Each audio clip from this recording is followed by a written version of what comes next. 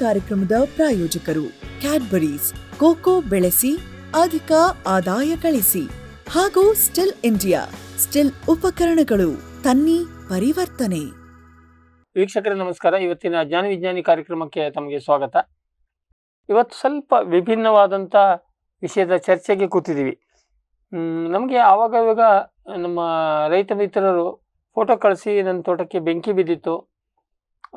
ಅದರಿಂದ ಕೆಲವು ಸುಟ್ಟೋಗಿದೆ ಈಗ ಅದು ಗಿಡ ಚಿಗುರ್ತಾ ಇಲ್ಲ, ಬೆಳೀತಾ ಇಲ್ಲ, ಏನು ಮಾಡೋಣ? ಈ ಥರದ್ದು ಪ್ರಶ್ನೆಗಳು ಬರ್ತಾ ಇರುತ್ತೆ. ಅದನ್ನು ನಾನು ಹಿಟ್ಲು ಮಂದಿ ಸರಿ ಕೇಳಿದಾಗ ಅವ್ರು ಹೇಳಿದರು, ಇಲ್ಲ, ಅದ್ರ ಮೇಲೆ ಒಂದು ಕಾರ್ಯಕ್ರಮ ಮಾಡೋಣ ಅಂತಂದರು. ಏನಕ್ಕೆ ಕೇಳಿದರೆ, ಅದಕ್ಕೆ ಯಾರೂ ಅದನ್ನ ಬಗ್ಗೆ ಯಾರೂ ಲಕ್ಷ್ಯ ಕೊಟ್ಟಿಲ್ಲ, ಅಥವಾ ನಾವು ಎಲ್ಲೂ ಆ ಥರದ್ದು ಕಾರ್ಯಕ್ರಮನೇ ಮಾಡಿಲ್ಲ, ಬಹುಶಃ ಇದು ಇಂಡಿಯಾದಲ್ಲೇ ಫಸ್ಟ್ ನಾವು ಮಾಡಿದ್ರಿ ಅಂತಂದರು. ಅದಕ್ಕೆ ಅದೇ ವಿಷಯವನ್ನು ಇಟ್ಟು ಇವತ್ತು ನಾವು ಚರ್ಚೆ ಕೂತಿದ್ವಿ. ಬೆಂಕಿ ಬೀಳೋದು ಅದೇನು ದೊಡ್ಡ ವಿಷಯ ಅಲ್ಲ. ಬೀಳ್ತಾ ಇರುತ್ತೆ, ಅವಾಗೂ ನಿಮಗೂ ಗೊತ್ತು, ನಮಗೂ ಗೊತ್ತು, ಅವ ಅಗ್ನಿ ಅವಘಡಗಳು ತೋಟಗಳಲ್ಲಿ ಆಗ್ತದೆ ಆದರೆ ಅದು ಆಗ್ಲಾರ್ದಂಗೆ ಹೆಂಗೆ ನೋಡ್ಕೋಬೇಕು ನನ್ನ ಮಟ್ಟಕ್ಕೆ ನಮಗೆ ನಿಮಗೆ ಗೊತ್ತು. ಆದರೆ ಆಯಿತು ಅಕಸ್ಮಾತ್ ಅಂತಾದರೆ ಅದರಲ್ಲಿ ಏನಾದ್ರು ಸಣ್ಣ ಪುಟ್ಟ ಬದಲಾವಣೆ ಮಾಡ್ಕೊಂಡು ಮುಂದೆ ತೋಟವನ್ನು ರೀ ತಯಾರಿ ಮಾಡಬಹುದಾ ಈ ಥರದ್ದು ಒಂದಷ್ಟು ವಿಷಯಗಳನ್ನು ನಾವು ಚರ್ಚೆ ಮಾಡೋಣ. ನಮಗೆ ಮಾಹಿತಿಯನ್ನು ಕೊಡೋದಕ್ಕೆ ನಮ್ಮ ತೋಟಗಾರಿಕಾ ಕ್ಷೇತ್ರದ ಭೀಷ್ಮ ಅಂತಲೇ ಹೇಳ್ತೀವಿ. ನಮ್ಮ ಗುರುಗಳು ಡಾಕ್ಟರ್ ಹಿತ್ಲಮನಿ ಸರ್ ಇದ್ದಾರೆ ಅವ್ರ ಬಗ್ಗೆ ಇನ್ನು ಹೆಚ್ಚಿನ ಪರಿಚಯ ಅಂತೂ ಮಾಡಿಕೊಡೋ ಪ್ರಶ್ನೆ ಇಲ್ಲ, ನಿಮ್ಗೆ ಗೊತ್ತು. ಬನ್ನಿ ಡಾಕ್ಟರ್ ಹಿತ್ಲಮನಿ ಸರ್ನ ಭೇಟಿಯಾಗಿ. ಅಗ್ನಿ ಅವಘಡಗಳು ತೋಟಗಳಲ್ಲಿ ಅಗ್ನಿ ಅವಘಡಗಳ ನಿಯಂತ್ರಣ ಹೇಗೆ ಬಂತು ಅಂತಾದರೆ ಅದಕ್ಕೆ ಅದಕ್ಕೇನಾದ್ರು ನಮ್ಮ ಸಣ್ಣ ಪುಟ್ಟ ಇದನ್ನು ರಿಪೇರಿ ಮಾಡಬಹುದಾ? ಈ ಥರ ಎಲ್ಲ ವಿಷಯಗಳನ್ನು ಚರ್ಚೆ ಮಾಡಿ ಬರೋಣ. ಸರ್ ನಮಸ್ಕಾರ. ನಮಸ್ಕಾರ. ಇವತ್ತಿನ ಜ್ಞಾನ ವಿಜ್ಞಾನಿ ಕಾರ್ಯಕ್ರಮಕ್ಕೆ ತಮಗೆ ಸ್ವಾಗತ. ಸರ್ ನಾನೀಗ ಪ್ರಸ್ತಾವನೆಯಲ್ಲಿ ಹೇಳಿದಂಗೆ ಅಗ್ನಿ ಅವಘಡ ಅದರಲ್ಲೂ ನಮ್ಮ ಮಲ್ನಾಡವರಿಗೆ ತುಂಬಾ ಚೆನ್ನಾಗಿ ಗೊತ್ತು. ಏನಕ್ಕೆ ಅಂದ್ರೆ ಇಲ್ಲಿ ಕಾಡು ಭಾಳ ಇರುತ್ತೆ ಮಧ್ಯಲ್ಲೊಂದು ರಸ್ತೆ ಹೋಗಿರುತ್ತೆ. ಎಲ್ಲಾ ಸರಿ ಹೇಳೋದು ಅದು ಹೇಗೆ ಬೆಂಕಿ ಬೀಳಲಿ ನಾವು ಹೇಳೋದಂದ್ರೆ ಯಾವನೋ ಬಿಡಿ ಸೇದಿ ಹೋಗದಂತೆ ಹೇಗೋ ಬೆಂಕಿ ಬಂತು ಬಟ್ ಅದೊಂದು ಕಾಮನ್ ಟರ್ಮ್ ಬಿಡಿ ಸೇದವ ಯಾರೋ ಮಾಡೋದು ಅದು ಇರಲೂಬಹುದು ಕೆಲವೊಮ್ಮೆ ಉದ್ದೇಶಪೂರ್ವಕವಾಗಿ ಬೆಂಕಿ ಹಾಕುವ ಪ್ರಕರಣಗಳು ಇದೆ. ಹೊಟ್ಟೆ ಕಿಚ್ಚಿಗೆ ಇನ್ನು ಲ್ಯಾಂಡ್ ಡಿಸ್ಪ್ಯೂಟ್ ಇದ್ದಾಗ ಅವೆಲ್ಲ ಇರುತ್ತೆ. ಹ್ಮ್ ಇವತ್ತು ನಾವು ಆ ವಿಷಯನೇ ಚರ್ಚೆ ಮಾಡೋಣ. ಸರಿ ಈಗ ನಿಮ್ಗನ್ಸುವಂತೆ ಈ ಬೆಂಕಿ ಅವಘಡ ವಿಶೇಷವಾಗಿ ನಾವು ತೋಟಗಾರಿಕೆಯಲ್ಲಿ ಅಂತ ಇಟ್ಕೊಳ್ಳೋಣ. ಕೃಷಿಯಲ್ಲಿ ಅಂತ ಆದ್ರೂ ಜನರಲ್ ಆಗಿ ತೋಟಗಾರಿಕೆ ಯಾಕೆಂದ್ರೆ ಪರ್ಮನೆಂಟ್ ಬೆಳೆ ಇರೋದು ತೋಟಗಾರಿಕೆ. ಹ್ಮ್. ಇನ್ನು ಆಗುತ್ತೆ. ಇದರಲ್ಲಿ ಏನು ಕಬ್ಬಿನ ಹೊಲದಕ್ಕೆ ಬೆಂಕಿ ಬಿದ್ದಿದ್ದು ಈ ತರ ಸಾಕಷ್ಟು ಪ್ರಕರಣಗಳಿದೆ. ಯಾಕೆಂದ್ರೆ ಅಲ್ಲಿ ಒಣ ರೌದಿ ಇರುತ್ತೆ. ಕಬ್ಬು ಜೋಳ ರಾಗಿ ಬಿದ್ದಿದೆ. ಬಿದ್ದಿದೆ. ಇನ್ನೊಂದ್ಸರಿ ಏನ್ ಕೇಳಿದ್ರೆ ನಾನು ಒಂದು ಆಶ್ಚರ್ಯಕರ ವಿಷಯ ನಾವು ಒಂದ್ಸರಿ ಪ್ರಸಾರ ಮಾಡಿದ್ವಿ ಆಸ್ಟ್ರೇಲಿಯದ್ದು. ಆಸ್ಟ್ರೇಲಿಯಾದಲ್ಲಿ ಅದು ನಮಗೆ ಸ್ಪಷ್ಟ ಮಾಹಿತಿ ಸಿಗಲಿಲ್ಲ. ಕಬ್ಬಿನ ಹೊಲ ಇನ್ನೇನು ಕಟಾವಿಗೆ ಬಂದಾಗ ಉದ್ದೇಶಪೂರ್ವಕವಾಗಿ ಬೆಂಕಿ ಹಾಕ್ತಾರೆ. ಹಾಕಿ ಅದೆಲ್ಲ ಎಲೆ ಸುತ್ತೋ ಸುಟ್ಟು ಬರೇ ದಂಟು ಅಷ್ಟೇ ಉಳಿತದೆ. ಅಷ್ಟು ಮಾಡಿದ್ರೆ ಎರಡು ಪರ್ಸೆಂಟು ಎಷ್ಟೋ ಸಕ್ಕರೆ ಪ್ರಮಾಣ ಹೆಚ್ಚಾಗತ್ತಂತೆ. ಆಮೇಲೆ ಅದನ್ನು ಹಾರ್ವೆಸ್ಟ್ ಮಾಡಿ ಮೆಕ್ಯಾನಿಕಲಿ ಹಾರ್ವೆಸ್ಟ್ ಮಾಡಿ ಪೀಸ್ ಮಾಡಿ ಫ್ಯಾಕ್ಟ್ರಿಗೆ ತೊಗೊಂಡೋಗ್ತಾರೆ. ನಮಗೆ ಏನಪ್ಪ ಇದು ಈ ಥರ ನಮ್ಮ ಇಂಡಿಯಾದಲ್ಲಂತೂ ನಾವೆಲ್ಲ ನೋಡಿಲ್ಲ ಉದ್ದೇಶಪೂರ್ವಕ ಬೆಂಕಿ ಹಚ್ಚೋದು ಬಟ್ ಅದೊಂದು ಕ್ರಮ ಇದೆ ಅಂತ ಹೇಳಿದ್ರು ಗೊತ್ತಿಲ್ಲ. ಸರಿ ಈಗ ಒಟ್ಟಾರೆಯಾಗಿ ನಾವು ಆಮೇಲೆ ತೋಟಗಾರಿಕೆಗೆ ಬರೋಣ. ಕೃಷಿ ಕ್ಷೇತ್ರದಲ್ಲಿ ಬೆಂಕಿಯ ಅವಘಡ. ಇದು ಎಷ್ಟು ಮಹತ್ವದ ವಿಷಯ ಎಷ್ಟು ಸೀರಿಯಸ್ ಸಬ್ಜೆಕ್ಟ್ ನಮಸ್ಕಾರ ವೀಕ್ಷಕರಿಗೆ. ಪ್ರಸಕ್ತ ಸನ್ನಿವೇಶದಲ್ಲಿ ತಾವು ಈಗ ಈ ವಿಷಯವನ್ನು ಎತ್ತಿದ್ರಲ್ಲ ಇದು ತುಂಬ ರೆಲೆವೆಂಟ್ ಸಬ್ಜೆಕ್ಟ್ ಇದು. ಓಕೆ. ಮತ್ತೆ ತುಂಬ ಏನೋ ಪ್ರಮುಖವಾದ ವಿಷಯ ಅಂತಲೂ ಹೇಳ್ಬೋದು. ಯಾಕಂತಂದರೆ ಇದು ದೊಡ್ಡ ರೀತಿಯಲ್ಲಿ ಇದು ಹಾನಿ ಉಂಟು ಮಾಡ್ತಾ ಇದೆ. ಈಗ ನಾವು. ಕೇಳ್ತಾ ಇದ್ದೇವೆ ಈಗ ತೋಟಗಳು ಒಣಗಾಕ್ ಸ್ಟಾರ್ಟ್ ಮಾಡಿದ್ಮೇಲೆ ಬೆಂಕಿ ಬೀಳುತ್ತೆ ಅದು. ತಾವು ಹೇಳ್ದಂಗೆ ಉದ್ದೇಶಪೂರ್ವಕವಾಗಿರ್ಬೋದು ಅಥವಾ ಆಕಸ್ಮಿಕವಾಗಿ ಇರ್ಬೋದು ಇವೆಲ್ಲ ಕಾರಣಗಳಿಂದ ಇನ್ನೇಕ ಕಾರಣಗಳಿಂದ ಅದು ಬೆಂಕಿ ಬೀಳುತ್ತೆ. ಇನ್ನು ಹೊರದೇಶಗಳಲ್ಲಿ ಕಾಡ್ಗಿಚ್ಚು ಆ ಅರಣ್ಯಕ್ಕೆ ಅರಣ್ಯ ಕಾಡ್ಗಿಚ್ಚು ಹೌದು ಅಮೆಝಾನ್ನಲ್ಲಿ. ಅಮೆರಿಕದಲ್ಲಿ ಬಟ್ ನಮ್ಮ ದೇಶದಲ್ಲಿ. ಕಾಡ್ಗಿಚ್ಚಿನ ಸುದ್ದಿ ಕಡಿಮೆ. ನಮ್ಮಲ್ಲಿ ಕಡಿಮೆ. ಕಾಡ್ಗಿಚ್ಚು. ಆದ್ರೂ ಇಲ್ಲಿ ಕಾಡಿಗೆ ಬಿದ್ದಿದೆ ಇಲ್ಲಿ. ಕಾಡಿಗೆ ಕಾಡಿಗೆ ಬಿದ್ದಿ ಕಾಡಿಗೆ ಕಿಚ್ಚಿ ಬಿದ್ದಿದೆ ಈ ಡ್ರೈ ಸ್ಕ್ರಬ್ ಜಂಗಲ್ ಅಂತ ಹೇಳ್ತಾರೆ ಕಿರುಚಲು. ಅರಣ್ಯಕ್ಕೆ ಅಲ್ಲಿ ಬೀಳ್ತಾನೆ ಇರ್ತದೆ. ಇವನ್. ದೊಡ್ಡ ದೊಡ್ಡ ಅರಣ್ಯ ಬಂಡೀಪುರದ ಅರಣ್ಯ ಗೊತ್ತಲ್ಲ? ಇದು ಎರಡ್ ಸಾವಿರದ ಹತ್ತೊಂಬತ್ತರಲ್ಲಿ ಬಿತ್ತು ನೋಡಿ. ದೊಡ್ಡ ರೀತಿಯಲ್ಲಿ ಸುಟ್ಟು ಸುಮಾರು ಹತ್ತು ಸಾವಿರ ಹೆಕ್ಟೇರ್ ಸುಟ್ಟೋಯ್ತು. ಬಟ್ ಅದು ಉದ್ದೇಶಪೂರ್ವಕವಾಗಿ ಬೆಂಕಿ ಹಾಕಿರೋದು ಇರುತ್ತೆ ಇರುತ್ತೆ. ಎಲ್ಲ ಇರುತ್ತೆ. ಆದ್ರೆ ಈ ಯುರೋ ಯುರೋಪ್ ಯುರೋಪಲ್ಲಿ ಇಲ್ಲ ಬಿಡಿ. ಅಮೆರಿಕ ಮತ್ತೆ ದೇಶಗಳಲ್ಲಿ ಬ್ರೆಜಿಲ್ ಅಂತಲ್ಲಿ ನೈಸರ್ಗಿಕವಾಗಿ ದೊಡ್ಡ ಪ್ರಮಾಣಕ್ಕೆ ಬೀಳುತ್ತೆ. ಅಲ್ಲೂ ಗೊತ್ತಿಲ್ಲ ಅಲ್ಲೂ ಯಾರು ಬಿಡಿ ಸೇದ ಅಲ್ಲಿ ಅಲ್ಲಿ ಬಿಡಿ ಸೇದ ಇಲ್ಲಕ್ಕಿಂತ ಅಲ್ಲಿ ಕೆಲವು ಘರ್ಷಣೆ ಗಿಡಕ್ಕೆ ಗಿಡಕ್ಕೆ ತಿಕ್ಕಿ ಬಿಟ್ಟು ಘರ್ಷಣೆ ಆಗುತ್ತೆ. ಘರ್ಷಣೆ ಆದಾಗ ಬೆಂಕಿ ನೈಸರ್ಗಿಕವಾಗಿ ಹತ್ಕೊಳ್ಳೋ-. ಸನ್ನಿವೇಶ ಇದ್ದೇ ಇರುತ್ತೆ. ಸೊ ನೀವು ಇದು ಮಹತ್ವದ ವಿಷಯ ಅಂತ ಹೇಳ್ತೀರಿ. ಇದರಲ್ಲಿ. ಕೃಷಿ ನೀವು ನೋಡಿದಂತೆ ನಿಮ್ಮ ನೆನಪಿನ ಬುತ್ತಿಯಲ್ಲಿ ಈ ಕೃಷಿ ಕ್ಷೇತ್ರದಲ್ಲಿ ಈಗ ನಾವು ಆಮೇಲೆ ತೋಟಗಾರಿಕೆ ಹೋಗೋಣ. ಯಾಕೆಂದ್ರೆ ಅದು ಪರ್ಮನೆಂಟ್ ಬೆಳೆ ಇರೋದಕ್ಕೆ ಅಲ್ಲಿ ನಮಗೆ ಇನ್ನೂ ಹೆಚ್ಚು ಮಹತ್ವ ಈ ವಿಷಯ. ಕೃಷಿ ಬೆಳೆಗಳ ಹೊಲದ ಬೆಳೆಗಳಲ್ಲಿ ಬೆಂಕಿ ಅವಘಡ ನೀವು ನೋಡಿದ್ದೀಯಾ ಸುಮಾರಷ್ಟು ನಾನು ನೋಡಿದ್ದೇನೆ. ನಾನು ಈಗ ಕೃಷಿ ಬೆಳೆಗಳಿಗೆ ಸಂಬಂಧಿಸಿದ ಹಾಗೆ. ತಾವು ಈಗಾಗಲೇ ಹೇಳಿದ್ರ ಕಬ್ಬು ಆಗಿರ್ಬೋದು ಮೆಕ್ಕೆಜೋಳ ಆಗಿರ್ಬೋದು ಜೋಳ ರಾಗಿ ಇಂಥವಕ್ಕೆಲ್ಲನೂ ಬೆಂಕಿ ಬಿದ್ದಿದೆ. ಹತ್ತಿ ತೋ- ಹತ್ತಿ ತೋಟಕ್ಕೂ ಹತ್ತಿ ಹೊಲಕ್ಕೂ ಬೆಂಕಿ ಬಿದ್ದಿದೆ. ಅಂದ್ರೆ ಒಣಗೋ ಹಂತ ಹೌದು ಒಣಗೋ ಹಂತದಲ್ಲಿ ಅದಕ್ಕೆ ಬಿದ್ದಿದೆ. ನಾನು ನೋಡಿದ್ದೇನೆ ಇಲ್ಲೇ ಈ ಈ ಏನಂತ ನೋಡಿ ಸೀಸನಲ್ ಕ್ರಾಪ್ಸ್ ಇದ್ದಾಗ ಕೃಷಿ ಬೆಳೆಗಳಿಗೆ ಬಿದ್ದಾಗ ಅಲ್ಲಿ ಹೆಚ್ಚು ಕಡಿಮೆ ಆ ದ್ವೇಷದಿಂದ ಆಗಲಿ ಉದ್ದೇಶಪೂರ್ವಕವಾಗಿನೇ ಬೆಂಕಿ ಬಿದ್ದಿರ್ತದೆ ಅಲ್ಲಿ. ಅಲ್ಲೆಲ್ಲ ಹಳ್ಳಿಯಲ್ಲಿ ತಮಗೆ ಗೊತ್ತಿರ್ಬೋದು ವೈಯಕ್ತಿಕ ದ್ವೇಷ ಇರ್ತವೆ ರಾಜಕೀಯ ದ್ವೇಷಗಳು ಇರ್ತವೆ. ಜಮೀನಿಗೆ ಸಂಬಂಧಪಟ್ಟಂತೆ ಏನಾದ್ರು ಕಾರಣಗಳು ಇರ್ತವೆ. ಅಲ್ಲೆಲ್ಲ ಕೆಲವು ಸರಿ ಬೆಂಕಿನೇ ಬಿದ್ದಿರ್ತದೆ. ಅದೆಲ್ಲ ಮೋಸ್ಟ್ಲಿ ವೈಯಕ್ತಿಕ ದ್ವೇಷದಿಂದಾನೇ ಬಿದ್ದಿರ್ತದೆ. ಅಲ್ಲಿ. ಆಕಸ್ಮಿಕವಾಗಿ ಇಲ್ಲ ಅಂತ ಹೇಳಕ್ ಹೇಳಲ್ಲ ಬಟ್ ತುಂಬಾ ಕಡಿಮೆ. ಇದು ಬೀಳುತ್ತೆ. ಇದು ಯಾವಾಗ ಬೀಳುತ್ತೆ ಅಂತಂದ್ರೆ ಫಸಲು ಮಾಗುವ ಹಂತಕ್ಕೆ ಬಂದಾಗ ಒಣಗಿರ್ತದೆ. ಇನ್ನೇನ್ ಕಟಾವಕ್ಕೆ ಸಿದ್ಧ ಆಗ್ಬೇಕು? ಎಲ್ಲ ನೋಡಿ ಎಲ್ಲ ಸಾಕಷ್ಟು ಆಕಾಂಕ್ಷೆಗಳನ್ನ ಆಸೆಗಳನ್ನ ಇಟ್ಕೊಂಡಿರ್ತಾರೆ ಅವಾಗ ಬೆಂಕಿ ಬಿದ್ಬಿಟ್ಟು ಸರ್ವನಾಶ ಆಗುತ್ತೆ. ಸರ್ವನಾಶ ಆಗುತ್ತೆ. ಮತ್ತೆ ಕೃಷಿ ಹೊಲಗಳಲ್ಲಿ ಬಿದ್ದರೆ ಸಂಪೂರ್ಣ ನಾಶ ಆಗುತ್ತೆ. ಹೌದು ಹೌದು. ಆರಿಸುವಲ್ಲಿವರೆಗೂ ಅಲ್ಲಿ ಏನು ಆಮೇಲೆ ಏನು ಉಳಿಯೋದಿಲ್ಲ. ಅವಾಗ ನೋಡಿ ಅದು ಕೊಯ್ಲಿಗೆ ಬಂದ ಅವಧಿಯಲ್ಲಿ ಇರಿಗೇಷನ್ ವಾಟರ್ ಸಹಿತ ಇರಲ್ಲ ಅಲ್ಲಿ. ಇರೋದಿಲ್ಲ ಎಲ್ಲ ಇವನ್ ಅಚ್ಚುಕಟ್ಟು ಏರಿಯಾದಲ್ಲಿ ಎಲ್ಲ ಕೆನಾಲ್ಗಳೆಲ್ಲ ಕ್ಲೋಸ್ ಆಗಿರ್ತವೆ. ಅವಾಗ ಅದನ್ನ ನೀರೇ ಸಿಗಲ್ಲ. ಅಲ್ಲಿ ಕುಡಿಯೋಕೆ ನೀರು ಇರಲ್ಲ. ಅವಾಗ ನೀವು ತುಂಬಾ ಕಷ್ಟ ಆಗುತ್ತೆ ಅಲ್ಲಿ. ಆಗಲ್ಲ. ಆಗಲ್ಲ. ಸೊ ಹಾಗಾಗಿ ಆ ಪ್ರಮಾಣ ಹಂಗೆ ಕೇಳಿದ್ರೆ ಕಡಿಮೆ ಅಂತ ಅನ್ಸುತ್ತೆ. ನಮ್ಗೆ ಅದು ಕಡಿಮೆ. ನೋಡಿ ಕೃಷಿ ಬೆಳೆಗಳಿಗೆ ಈ ಸೀಸನಲ್ ಕ್ರಾಪ್ಸ್ಗೆ ತುಂಬಾ ಕಡಿಮೆ. ತುಂಬಾ ಕಡಿಮೆ. ಆದ್ರೆ ಬೇರೆ ಬೆಳೆಗಳು ಅಂದ್ರೆ ಈ ಒಣ ತೋಟಗಾರಿಕೆ ಅಂತ ತಾವು ಹೇಳಿದ್ರಲ್ಲ? ಹಾರ್ಟಿಕಲ್ಚರ್ ದಲ್ಲಿ ಮತ್ತೆ ಈ ಪ್ಲಾಂಟೇಶನ್ಸ್ ಇದು. ಅಂದ್ರೆ ಅಗ್ರೋ ಫಾರೆಸ್ಟ್ರಿ ಅಲ್ಲಿ ಬೇಕಾದಷ್ಟು ಬಿದ್ದಿದೆ. ಬೇಕಾದಷ್ಟು ಬಿದ್ದಿದೆ. ಹೌದು. ಕಾಡುಗಳು ಸಹಜವಾದ ಕಾಡು. ಕಾಡಿನಲ್ಲಿ ಅದರಲ್ಲಿ ಈ ಕಿರುಚಲು ಅರಣ್ಯ. ಡ್ರೈ. ಡೆಸಿಡಿಯಸ್ ಫಾರೆಸ್ಟ್ ಅಂತ ಹೇಳ್ತಾರೆ ನೋಡಿ ಅಲ್ಲಿ ಜಾಸ್ತಿ ಬೀಳುತ್ತೆ. ಯಾಕಂದ್ರೆ ಅದು ಡಿಸೆಂಬರ್ ಜನವರಿ ಆದ್ಮೇಲೆ ಫುಲ್ ಒಣಗೋಗುತ್ತೆ. ಅಲ್ಲಿ ಏನು. ಇರಲ್ಲ. ಕರೆಕ್ಟ್ ಈಗ ನಮ್ಮ ನಾವು ಈಗ ಚರ್ಚೆಗೆ ಕೂತಿರೋದು ಸರಿಯಾದ ಸಂದರ್ಭ ಯಾಕೆಂದ್ರೆ ಇನ್ನು ಇನ್ನು ಒಣ ಕರೆಕ್ಟ್ ಒಣ ಕಾಲ ಬರುತ್ತೆ ಈಗ ಮುಂಜಾಗ್ರತಾ ಕ್ರಮ ಇದನ್ನು ಕೈಕೊಳ್ಳಕ್ಕೆ ಇದು ಸರಿಯಾದ ಸಮಯ ಸರಿಯಾದ ಸಮಯ ಚರ್ಚೆ ಮಾಡ್ತಾ ಇದ್ದೀವಿ. ಸರಿ ಈಗ ಈ ಬೆಂಕಿ ಬೀಳೋದು ಈಗ ಕೃಷಿ ಬೆಳೆಗಳಲ್ಲಾದ್ರೆ ಆಲ್ಮೋಸ್ಟ್ ಸಂಪೂರ್ಣ ಸತ್ಯನಾಶ ಆಗತ್ತೆ. ನಾವು ತೋಟಗಾರಿಕಾ ಬೆಳೆಗಳ ವಿಷಯದಲ್ಲಿ ಬಂದ್ರೆ ಅದರಲ್ಲೂ ಈಗ ತರಕಾರಿ ಅಂತಲ್ಲಿ ಆ ಸಾಧ್ಯತೆ ಕಡಿಮೆ. ಕಡಿಮೆ. ಯಾಕೆಂದ್ರೆ ಅಲ್ಲಿ ಒಣ ಯಾವಾಗೂ ಒಣಗದೇನೆ ಇಲ್ಲ ಯಾಕೆಂದ್ರೆ ಅದು ಕೊಯ್ಲು ಮಾಡ್ತಾ ಇರ್ತಾರೆ? ಇನ್ನೊಂದು ಎಲ್ಲಾ ತರಕಾರಿಗಳು ಹೆಚ್ಚು ಕಡಿಮೆ ನನಗೆ ತಿಳಿದ ಪ್ರಕಾರ ಅವೆಲ್ಲ ಇರಿಗೇಷನ್ಸ್ ಇರುತ್ತೆ. ಅಲ್ಲೇ ನಮ್ಮಲ್ಲಿ ಬೆಂಕಿ ಬೀಳಲ್ಲ ಮತ್ತೆ ಸ್ವಚ್ಛವಾಗಿ ಇಟ್ಕೊಂಡಿರ್ತಾರೆ. ಬೆಂಕಿ ಬೀಳಕ್ ಏನಾದ್ರೂ ಅಲ್ಲಿ ಬೇಕಲ್ಲ ನೋಡಿ ಕಸಾನೋ ಅಥವಾ ಒಣ ಒಣಗಿದ ಕಸ ಒಣಗಿದ ಹುಲ್ಲು ಏನಾದ್ರೂ ಇರಬೇಕು ಅಲ್ಲಿ ಇರಲ್ಲ. ಅದರಿಂದ ತರಕಾರಿ ತೋಟಗಳಿಗೆ ಸಾಮಾನ್ಯವಾಗಿ. ನಾವು ಬಿದ್ದದ್ದು ಕೇಳಿಲ್ಲ ನೋಡಿಲ್ಲ. ಇನ್ನು ತೋಟಗಾರಿಕಾ ಬೆಳೆಯಲ್ಲಿ ನಿಮ್ಮ ಅನುಭವದಲ್ಲಿ ಯಾವ್ಯಾವ ತರದ್ದು ನೋಡಿದ್ದೀರಿ? ನೋಡಿ ಒಣ ತೋಟಗಾರಿಕೆಯಲ್ಲಿ ಅದು ಮಾವು ಆಗಿರ್ಬೋದು ಗೋಡಂಬೆ ಆಗಿರ್ಬೋದು ನೇರಳೆ ಆಗಿರ್ಬೋದು. ಇನ್ನು ಅನೇಕ ಬೆಳೆಗಳಾಗಿರ್ಬೋದು ಅನೇಕ ತೋಟ ಇವನ್ ಬೇರೆ ಬೇರೆ ತೋಟಗಳಿಗೆಲ್ಲ. ಅಂದ್ರೆ. ಫಾರ್ ಎಕ್ಸಾಂಪಲ್ ನೋಡಿ ಈ ನಿಂಬೆ ತೋಟಗಳು ಆಗಲಿ ತೆಂಗಿನ. ತೋಟಗಳಾಗಲಿ ಸಾಮಾನ್ಯವಾಗಿ ಅಲ್ಲೆಲ್ಲ ನೀರು ಇರುತ್ತೆ. ಆದ್ರೂ ಕೆಲವೊಂದನ್ನೇ ನೆಗ್ಲೆಕ್ಟ್ ಮಾಡಿರ್ತಾರೆ ಅಲ್ಲೇನಾಗಿರ್ತದೆ ಅಂತಂದ್ರೆ ಅಲ್ಲೆಲ್ಲ ಕಸ ಬೆಳ್ಕೊಂಡ್ಬಿಟ್ಟಿರ್ತದೆ ಅದು. ಸರ್ ನಮ್ಮಲ್ಲಿ ಅಡಿಕೆ ತೋಟಕ್ಕೆ ಬಿದ್ದಿದ್ದ ಸಾಕಷ್ಟು ಉದಾಹರಣೆಗಳಿದೆ. ಈಗ ಎಲ್ಲಿ ನೆಗ್ಲೆಕ್ಟ್ ಕಾರಣ ಏನಂದ್ರೆ ನೆಗ್ಲೆಕ್ಟ್ ಒಂದು ಇನ್ನೊಂದ್ ಸರಿ ಏನಂದ್ರೆ ಅಲ್ಲಿ ನಾವು ಸಾಕಷ್ಟು ಎಲೆ ಸೋಗೆ ಅದೆಲ್ಲ ತೋಟದಲ್ಲಿ ಆಮೇಲೆ. ಸೊಪ್ಪು ದೆರಕು ಹಾಕಿದ್ದು ಅದು ಇರುತ್ತೆ. ಹಾಗಾಗಿ ಮೇಲೆ ಬಿದ್ದಿಲ್ಲ ಅಂದ್ರೂ ಕೆಳಗೆ ಕಂಪ್ಲೀಟ್ ಉರಿಯುವಷ್ಟು ಅಲ್ಲಿ ವಿಷಯ ಇರುತ್ತೆ ಮತ್ತೆ ಇತ್ತೀಚೆಗೆ ನೋಡಿ ನಾವೆಲ್ಲಾನು ಈ ಮಲೆನಾಡು ಪ್ರದೇಶದಲ್ಲಿ ಸಾವಯವ ಅಂತ ನಾವು ಹೇಳಿ ಹೇಳ್ತೇವೆ. ಸಾವಯವ ಸಹಜ ಕೃಷಿ ಅಲ್ಲಿ ಇಂಥದ್ರಲ್ಲಿ ಜಾಸ್ತಿ ಅವಘಡಗಳಾಗಿವೆ. ಯಾಕಂದ್ರೆ ಎಲ್ಲಾನು ಅಲ್ಲಿ ಬಿದ್ದಂತ ತರಗಲೆಗಳು ಎಲೆಗಳು ಸೋದೆಗಳು ಅವನ್ನೆಲ್ಲವನ್ನು ಅಲ್ಲೇ ಬಿಟ್ಟಿರ್ತಾರೆ. ಗಿಡದ ಸುತ್ತಮುತ್ತಲು. ಮಲ್ಚ್ ಮಾಡಿರ್ತಾರೆ. ಅದಕ್ಕೆ ಬೆಂಕಿ ಹತ್ಕೊಂಡ್ಬಿಟ್ರೆ ತೋಟ ಎಲ್ಲ ಸುಟ್ಟೋಗುತ್ತೆ. ಸುಟ್ಟೋಗುತ್ತೆ. ಅದಾಗಿದೆ. ಅದಕ್ಕೊಂದು ಬೇರೆ ವ್ಯವಸ್ಥೆ ಮಾಡಬೇಕು? ಸರಿ ಈಗ ನಿಮ್ಮ ಈಗ ನಾವು ತೋಟಗಾರಿಕಾ ಬೆಳೆಗಳ ವಿಷಯಕ್ಕೆ ಬಂದ್ರೆ ಬೆಂಕಿ ಬಿದ್ದಾಗ ಯಾವುದೋ ಒಂದು ಎರಡು ಮೂರು ಮಹತ್ವದ ಬೆಳೆಯನ್ನ ತಗೊಂಡು ನಾವು ಹೇಳ್ಬೋದು. ಬೆಂಕಿ ಬಿದ್ದಾಗ ಅದರ ಡ್ಯಾಮೇಜ್ ಪ್ರಮಾಣ ಹೇಗಿರುತ್ತೆ? ಈ ಪೂರ್ತಿ ಬೆಂಕಿ ಬಿತ್ತು ಅಂತ ಇಟ್ಕೊಳ್ಳಿ. ಇಡೀ ತೋಟ ಒಂದೊಂದು ಹತ್ತು ಎಕರೆ ಮಾವಿನ ತೋಟ ಇತ್ತು. ಎಲ್ಲ ಬೆಂಕಿ ಬಿದ್ದೋಯ್ತು. ಆಮೇಲೆ ನನಗೆ ಗೊತ್ತಾಯ್ತು. ಸಾಮಾನ್ಯವಾಗಿ ಮಾವಿನ ತೋಟ ನಾವು ನೋಡಿದಂತೆ ಹುಲ್ಲು ಬೆಳೆದಿರುತ್ತೆ. ಮುಖ್ಯವಾಗಿ ಹುಲ್ಲು ಎರಡು ಇರುತ್ತೆ. ಈಗ ಡಿಸೆಂಬರ್ ನಂತರ ಎಲ್ಲ ಒಣಗಿ ನಿಲ್ತದೆ.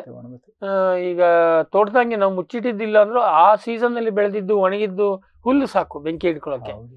ಸೊ ಈಗ ಒಂದು ಇಡೀ ನನ್ನೊಂದು ಹತ್ತು ಎಕರೆ ಮಾವಿನ ತೋಟಕ್ಕೆ ಬೆಂಕಿ ಬಿದ್ದು ಹೋಯ್ತು ಅಂತ ಇಟ್ಕೊಳ್ಳೋಣ. ಆವಾಗ ಅದರದ್ದು ಪರಿಣಾಮ ಹೇಗಿರುತ್ತೆ? ಎಷ್ಟು ಪ್ರಮಾಣಕ್ಕಿರುತ್ತೆ? ಯಾಕಂದ್ರೆ ಅದು ಮಾವು ಗಟ್ಟಿ ಮರ. ಅದೇನೋ ಹಿಂಗ್ ಬಿದ್ದರೆ ಎಲೆ ಎಲ್ಲ ಉದುರೋದ್ರು ಆಮೇಲೆ ರಿಕವರಿ ಆಗ್ಬೇಕು. ಈ ಪರಿಣಾಮ ಹೇಗಿರುತ್ತೆ? ಬೆಂಕಿಯ ತೀವ್ರತೆ ಎಷ್ಟಿರುತ್ತೆ ಅಂತ ಅಂತಂದ್ರೆ ಅದು ಅಲ್ಲಿ ಬೆಳೆದಿರುವಂತಹ ಕಸ ಮತ್ತು ಹುಲ್ಲಿನ ಪ್ರಮಾಣದ ಮೇಲೆ ಅಥವಾ ಅಲ್ಲಿ ಬಿದ್ದಂತಹ ಎಲೆಗಳು ಅಥವಾ ಆರ್ಗನ್ ಡ್ರೈ ಆರ್ಗ್ಯಾನಿಕ್ ಲಿಟರ್ ಅಂತ ಹೇಳ್ತಾರೆ. ಲೀಫ್ ಲೀಟರ್ ಅಂತ. ಅದ್ರ ಪ್ರಮಾಣದ ಮೇಲೆ ಹೋಗುತ್ತೆ. ಅದು ಜಾಸ್ತಿ ಬಿದ್ದ ಬಿದ್ದಾಗ ಜಾಸ್ತಿ ಕೆಲವು ಕೆಲವು ಸರಿ ತುಂಬಾ ಒಣಗಿದ ಎಲೆಗಳು ಬಿದ್ದಿರ್ತವೆ. ಮಾವಿನ ತೋಟ ತಗೊಳ್ಳಿ. ಗೋಡಂಬಿ ತೋಟ ತಗೊಳ್ಳಿ. ಅಲ್ಲೆಲ್ಲ ಒಣಗಿದ್ದು ಅಲ್ಲೇ ಬಿದ್ದಿರ್ತವೆ. ಸುಮಾರು ಒಂದು ವರ್ಷದಲ್ಲ ಹಲವಾರು ವರ್ಷಗಳಿಂದ ಬಿದ್ದಿರ್ತದೆ. ಮತ್ತೆ ನಾವು ಉದ್ದೇಶಪೂರ್ವಕವಾಗಿ ಆಚೆ ಇದ್ದಿದ್ದನ್ನು ತೊಣದಲ್ಲಿ ಆ- ಅದು ಇದೆ ನೋಡಿ. ಹಂಗಾಗಿ ಕಸನೂ ಜಾಸ್ತಿ ಬೆಳ್ಕೊಂಡಿರ್ತದೆ. ಮತ್ತೆ ಯಾರು ನೆಗ್ಲೆಕ್ಟ್ ಆಗಿ ತೋಟಗಳಲ್ಲಿ ಇದು ಜಾಸ್ತಿ. ಯಾಕಂದ್ರೆ ಹಲವಾರು ಕಾರಣ ಇದೆ. ಅದನ್ನೆಲ್ಲ ಕ್ಲೀನ್ ಮಾಡಕ್ ಜನ ಇರಲ್ಲ. ಅಥವಾ ಅದನ್ನ ಹುಲ್ಲು ಕತ್ತರಿಸಕ್ಕೆ ಮಷಿನ್ಸ್ ಇರಲ್ಲ. ಇನ್ ಟೈಮ್ಲಿ ಮಾಡಕ್ಕೆ ಅವ್ರಿಗೆ ಆಗಿರಲ್ಲ ಕೆಲಸದಕ್ಕೆ. ಈ ಸನ್ನಿವೇಶದಲ್ಲಿ ಹಾಗೆ ಇರುತ್ತೆ ಅದು. ನಾವು ಎಚ್ಚರಿಕೆ. ಕೊಟ್ಟರು ಅಥವಾ ಮುಂಜಾಗ್ರತೆಗೆ ಅವ್ರು ತಿಳಿಸಿ ಹೇಳಿದ್ರು ಕೆಲಸ ಮಾಡಕ್ ಆಗಿರಲ್ಲ. ಎರಡಾಗುತ್ತೆ. ತೋ ಬೆಂಕಿ ತೋಟದಿಂದನೇ ಉತ್ಪತ್ತಿ ಆಗ್ಬೋದು ಅಥವಾ ತೋಟದ ಹೊರಗಿನಿಂದ ಉತ್ಪತ್ತಿ ಆಗ್ಬೋದು. ಹೊರಗಡೆ ತಾವು ತಗೊಳ್ಳಿ ಇವತ್ತಿನ ಮಾವಿನ ತೋಟ ಆಗಲಿ ಗೋಡಂಬಿ ತೋಟ ಆಗಲಿ ಹಲಸು ಈ ಮತ್ತೆ ಹುಣಸೆ ಇವೆಲ್ಲ ತೋಟಗಳು ನೋಡಿ ಸಾಮಾನ್ಯವಾಗಿ ಅನೇಕ ಪ್ರದೇಶಗಳಲ್ಲಿ ಈ ಕಾಡಿನ ಅಂಚಲ್ಲಿ ಸಹ ಇವೆ. ಕಾಡು ಅಥವಾ ಈ ನೀಲಗಿರಿ ತೋಪುಗಳು. ಅಲ್ಲೆಲ್ಲ ಇರುತ್ತವೆ. ಅಲ್ಲೆಲ್ಲ ಬೇಕಾದಷ್ಟು ಸುಡುವ ಪದಾರ್ಥಗಳು ಇದ್ದೇ ಇರ್ತವೆ. ಕಸ ಕಡ್ಡಿ. ಎಲೆಗಳು ಇರ್ತವೆ.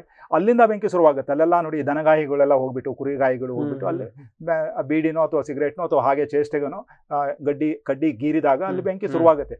ಅದು ನಮ್ಮ ತೋಟದಲ್ಲಿ ಸಹ ಇಂತಹ ದಹನಶೀಲ ವಸ್ತುಗಳು ಇದ್ದಾಗ ಕಸ. ಕಡ್ಡಿ ಇದ್ದಾಗ ಎಲೆಗಳಿದ್ದಾಗ ಅಲ್ಲಿಂದ ಅದು ಹೊರಗಿನಿಂದ ಶುರುವಾಗಿ ಒಳಗಡೆ ಎಂಟರ್ ಆಗ್ಬಿಡ್ತದೆ.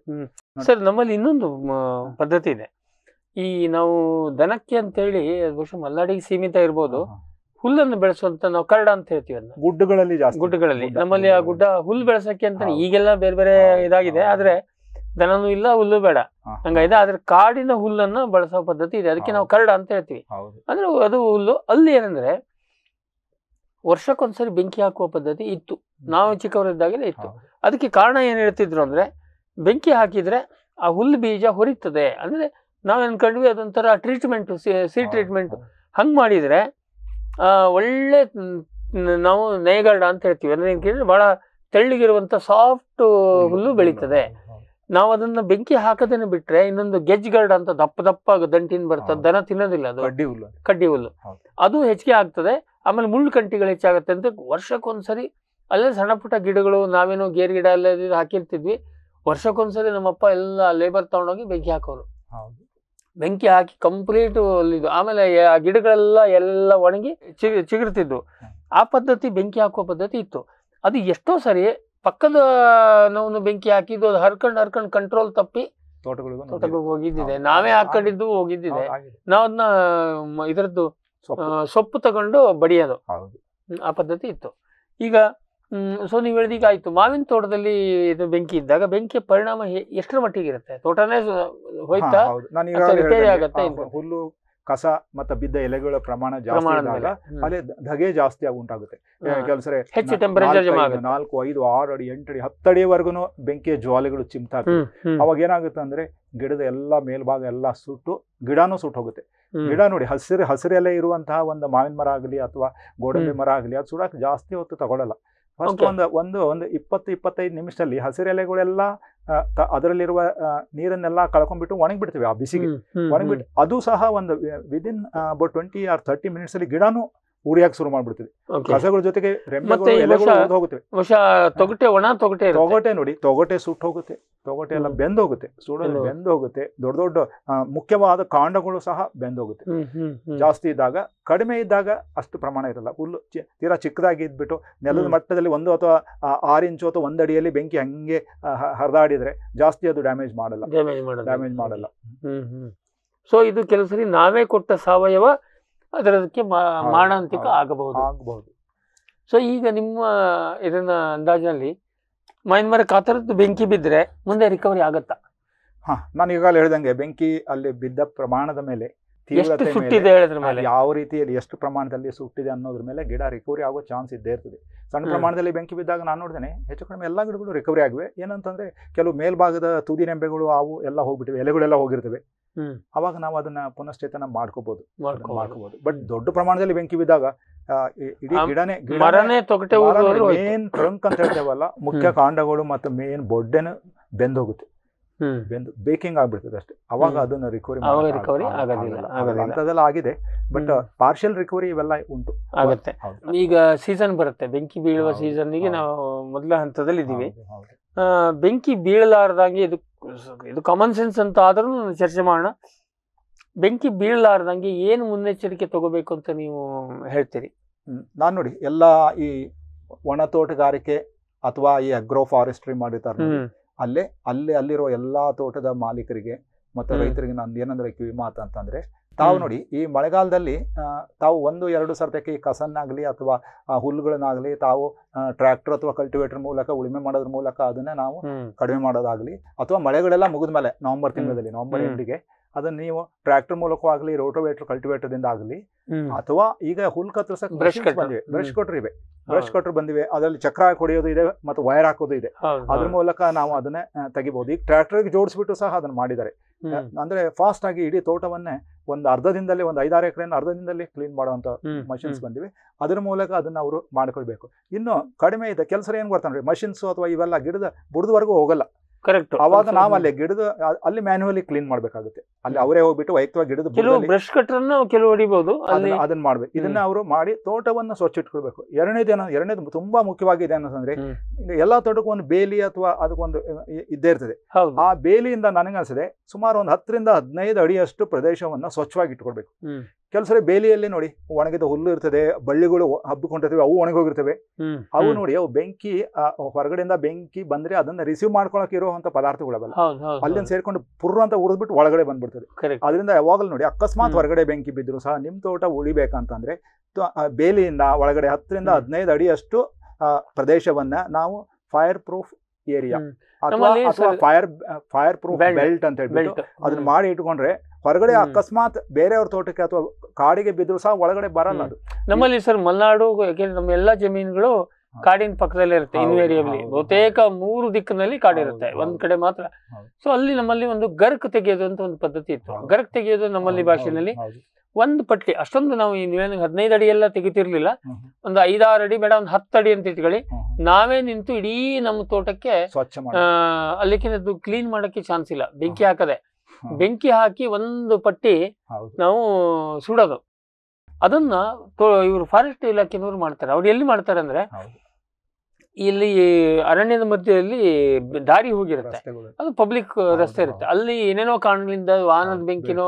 ವಾಹನದ ಇದರಲ್ಲಿ ಸರ್ ಏನೋ ಎಕ್ಸಾಸ್ಟ್ ಪೈಪ್ನಲ್ಲಿ ಹೊಗೆ ಪೈಪ್ನಲ್ಲಿ ಬೆಂಕಿ ಬರುತ್ತೆ ಕಿಡಿ ಹಾರ್ತದೆ ಕಿಡಿ ಕೆಲಸ ಅದೇ ಸಾಕಾಗುತ್ತೆ. ಅದಕ್ಕೆ ಅದನ್ನೆಲ್ಲ ಕಂಟ್ರೋಲ್ ಇಲ್ಲ ಏನ್ ಮಾಡ್ತಾರೆ ಅಂದ್ರೆ ರಸ್ತೆಯಿಂದ ಆ ಕಾಡಿನ ಏನು ಜಾಗ ಇದೆ ಅದಿಷ್ಟು ಜಾಗಕ್ಕೆ ಅರಣ್ಯ ಇಲಾಖೆನವರೇ ಉದ್ದೇಶಪೂರ್ವಕ ನಿಂತು ಕಂಟ್ರೋಲ್ಡ್ ಬರ್ನಿಂಗ್ ಒಂದು ಪಟ್ಟಿ ತೆಗಿತಾರೆ.